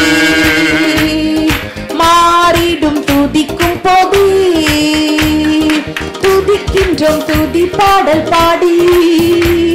தூயாதி தூயவரை. துதிக்கின்றோம் துதி பாடல் பாடி. எல்லாரும் கைகளை தட்டி பாடுவோம். பாடும் பொழுதே விடுதலை உண்டாகட்டும். கதவுகள் திறந்திடுமே துதிக்கின்ற வேளையிலே சிறைச்சாலை கதவுகள் திறந்திடுமே. துதிக்கின்ற வேளையிலே கடுமையான சூழ்நிலையோ எந்த கடுமையான சூழ்நிலையா இருந்தாலும் மாறிடும் துதிக்கும் போது அமை மாறிடும் துதிக்கும் போது துதிக்கின்றோம் துதி பாடல் பாடி. தூயாதி தூயவரை. துதிக்கின்றோம் துதி பாடல் பாடி இயேசுவின் நாமத்தில் இந்த ராத்திரி வேளையிலே அநேகருடைய கட்டுகள் உடைக்கப்படுவதாக சங்கிலிகள் விழுவதாக அடைக்கப்பட்ட கதவுகள் திறக்கப்படுவதாக இயேசுவின் நாமத்தில் விடுதலை உண்டாவதாக பொறாமையினாலே கட்டப்பட்டவர்களுக்கு விடுதலை உண்டாவதாக நன்மை செய்ய முடியாமல் கட்டப்பட்டிருக்கிறவர்களுக்கு இயேசுவின் நாமத்தில் இந்த இரவு விடுதலை வருவதாக மதவாதிகளால் அடைக்கப்பட்ட நிலையில் இருக்கிறவர்களுக்கு இயேசுவின் நாமத்தில் விடுதலை வருவதாக விடுதலை வருவதாக யாரையோ பிரியப்படுத்த எங்களை கட்டி வைத்திருக்கிற அனுபவங்கள் இன்றைக்கு மாறுவதாக. அல்லேலூயா ஆமே நாங்கள் கூடி ஜெபிக்கிற இந்த நேரத்திலே இயேசுவின் நாமத்தில் கட்டப்பட்டிருக்கிற அநேகருக்கு விடுதலை அநேகருக்கு விடுதலை. அல்லேலூயா அல்லேலூயா ஏரோதுகள் ஓட்டம் பிடிக்கும்படியான விடுதலை. ஏரோதுகள் இல்லாமல் போகும்படியான விடுதலைகள் இயேசு கிறிஸ்துவின் நாமத்தில் இந்த வீட்டிலும் ஆமையர் எங்கே நடக்கணுமோ எல்லா இடங்களிலும் நடப்பதாக. ஆமையர் தங்கள் தொழில் ஆதாயத்துக்காக எங்களை கஷ்டப்படுத்துகிற அடிக்கிற துன்புறுத்துகிற அடைத்து வைக்கிற பொல்லாதோடைய சூழ்ச்சிகள் உடைக்கப்படத்தக்கதாய் இந்த ஒரு அற்புதம் நடப்பதாக. ஒரு விசாரணை கூட செய்யாமல் எங்களை அடைத்து வைத்திருக்கிற காரியங்களை செய்ய விடாமல் குற்றவாளியாய் தீர்த்திருக்கிற பொல்லாத அதிகாரிகள் மனம் திரும்பும்படியாக இயேசுவின் நாமத்தில் விடுதலை விடுதலை விடுதலை விடுதலை. ஆமே ஹalleluya. ஹalleluya. ஆமே ஸ்தோத்திரம் ஸ்தோத்திரம் எந்த நேரத்திலும் ஜெபிக்கிற கிருபை உண்டாவதாக துதிக்கிற கிருபை உண்டாவதாக பாடுகிற கிருபை உண்டாவதாக. ஹalleluya லூயா கட்டவிழ்க்கப்படும் பொழுது அம்மேர் சிறைச்சாலை காலன் மனம் திரும்பினார். அதுபோன்ற அற்புதங்கள் நடப்பதாக. உலபா கபா ரபா ஷதாரா தீனா ஹந்தாலா. உரபா லபா ஷதாரா அந்தலா. எதை வைத்து ஜெபிக்கிறீர்களோ அந்த காரியத்தில் இயேசு விடுதலை தருவார். கட்டுகளை உடைப்பார். பிசாசின் கட்டுகளை உடைப்பார். மந்திரவாத கட்டுகளை உடைப்பார். ஆமேன். ஹalleluya. மதவாத கட்டுகள். எந்த கட்டுகள் இருந்தாலும் இயேசு கிறிஸ்து உடைப்பார். கர்த்தரை நோக்கி கூப்பிடுங்க. கர்த்தரை நோக்கி கூப்பிடுங்க. இயேசுவே நீர் எனக்கு இந்த அடைக்கப்பட்ட நிலையிலிருந்து ஒரு விடுதலை தாரும். பர்டிகுலரா சொல்லுங்க. குறிப்பா அந்த காரியத்தை சொல்லுங்க. என் இயேசு நிச்சயம் வெறும் வார்த்தை அனுப்பவே மாட்டார். இந்த இரவு சிலருடைய வாழ்க்கையில கிரிய செய்கிறார். தூதர்களை அனுப்புகிறார். சிங்காசனத்தில் இருந்து கட்டளை கொடுத்து அனுப்புகிறார். போய் திறந்து விடு. போய் கட்டுகளை உடைத்து விடு. என் பிள்ளைக்காக அந்த வாசலை திறந்து கொடு என்று இயேசுவின் கட்டளை. உரபாலா சீதாரா தூரா கபா ரபா ஷலா. ஹalleluya ஹalleluya பரிசுத்த ஆவியை பெற்றவர்கள் நல்ல ஆவியின் பலத்தோடு ஜெபம் பண்ணுங்க. ஆவியின் பலத்தோடு கர்த்தரை கூப்பிடுங்க. கர்த்தர் நிச்சயம் விடுவிப்பார். ஆமென். ஸ்தோத்திரம் ஸ்தோத்திரம் ஸ்தோத்திரம். வருமானத்தின் வழிகள் அடைக்கப்பட்டிருக்கிறதா? ஆமென். கடன் வட்டி ஏறிக்கொண்டு போகிறதா? இன்று அந்த கட்டை உடைப்பாராக. அந்த கட்டை உடைப்பாராக. வர வேண்டிய பணங்கள் வராமல் ஆமென் தடைபட்டு நிற்கிறதா? இயேசு கிறிஸ்துவின் நாமத்தினாலே தர வேண்டியவன் தருவானாக. கொடு வைத்திராதே என்று கர்த்தர் கட்டளை கொடுப்பாராக. உலபால முக்கபாரா சதுரா துனா உலபால பக்கபார அபசதாரியா துனா ஹலபௌரி அந்தலா. விடுதலை விடுதலை விடுதலை. இந்த இரவு மெய்யாகவே ஒரு விடுதலையின் இரவாய் மாறட்டும் அன்று இஸ்ரவேலருக்கு ஒரு பஸ்கா இரவை விடுதலை இரவாய் மாற்றின தேவன். இன்று எங்களுக்கும் ஒரு விடுதலை இரவாய் இதை மாற்றி விடுவீராக glory glory glory glory glory glory. Hallelujah hallelujah hallelujah Tirupattur சபைக்கு இயேசுவின் நாமத்தினாலே ஒரு விடுதலை உண்டாவதாக கட்டு அறுக்கப்படுவதாக தடை மாறுவதாக அதிகாரிகளுடைய உள்ளத்திலே கர்த்தர் கிரியை செய்வீராக. உரபல முக்கபர துரகல மர மக்கபல மரியாலமா உரபலம சந்துர துரகல மௌரியம் தலம ஷல Maurya. Glory to god glory to god. வல்லமை இறங்கிட்டப்பா வல்லமை இறங்கிட்டப்பா வல்லமை இறங்கிட்டப்பா. இந்த ராத்திரி வேளையில் அநேகருடைய வாழ்க்கையிலே வாழ்க்கையின் ஒவ்வொரு பகுதிகளிலே கர்த்தருடைய சிங்காசனத்திலிருந்து தூதர்கள் புறப்பட்டு வரட்டும். தூதர்கள் புறப்பட்டு வரட்டும். விடுதலை வரட்டும் விடுதலை வரட்டும் விடுதலை வரட்டும். ஹalleluya ஹalleluya ஹalleluya எங்களை இக்கட்டிலே ஜெபிக்கிறவர்களாய் மாற்றும் இக்கட்டிலும் துதிக்கிறவர்களாய் மாற்றும் இக்கட்டிலும் பாடுகிறவர்களாய் மாற்றும் ஆமென். கூடி ஜெபித்து ஜெயம் பெறுகிறவர்களாய் மாற்றும் கூடி ஜெபித்து ஜெயம் பெறுகிறவர்களாய் மாற்றும் Hallelujah, hallelujah, hallelujah. Amen. glory glory glory glory hallelujah hallelujah hallelujah praise the lord praise the lord praise the lord சேனைகள் சிதறிய ஓடிடுமே துதிக்கின்ற வேளையிலே சேனைகள் சிதறிய ஓடிடுமே துதிக்கின்ற வேளையிலே யோசபாத்தே சூழ்நிலையோ யோசபாத்தே சூழ்நிலையோ மாறிடும் துதிக்கும் போதே. மாறிடும் துதிக்கும் போது. துதிக்கின்றோம் துதி பாடல் பாடி. எப்போதும் துதிக்க ஒரு அபிஷேகம் ஊற்றும் ஐயா. இக்கட்டிலும் செபிக்கிற அபிஷேகம் ஊற்றும் ஐயா. துன்பத்திலும் சங்கீதம் பாடுகிற அபிஷேகம் ஒன்றும் ஐயா துதிக்கின்ற வேளையிலே சோத்தையும் குப்பை மேலாகுமே துதிக்கின்ற வேளையிலே எரிகோ போன்ற சூழ்நிலையும் எரிகோ போன்ற எத்தனை மதில்கள் கட்டப்பட்டிருந்தாலும் இயேசுவின் நாமத்தில் உடைத்து விடுவதாக. குளோரி குளோரி குளோரி பாடல் பாடி.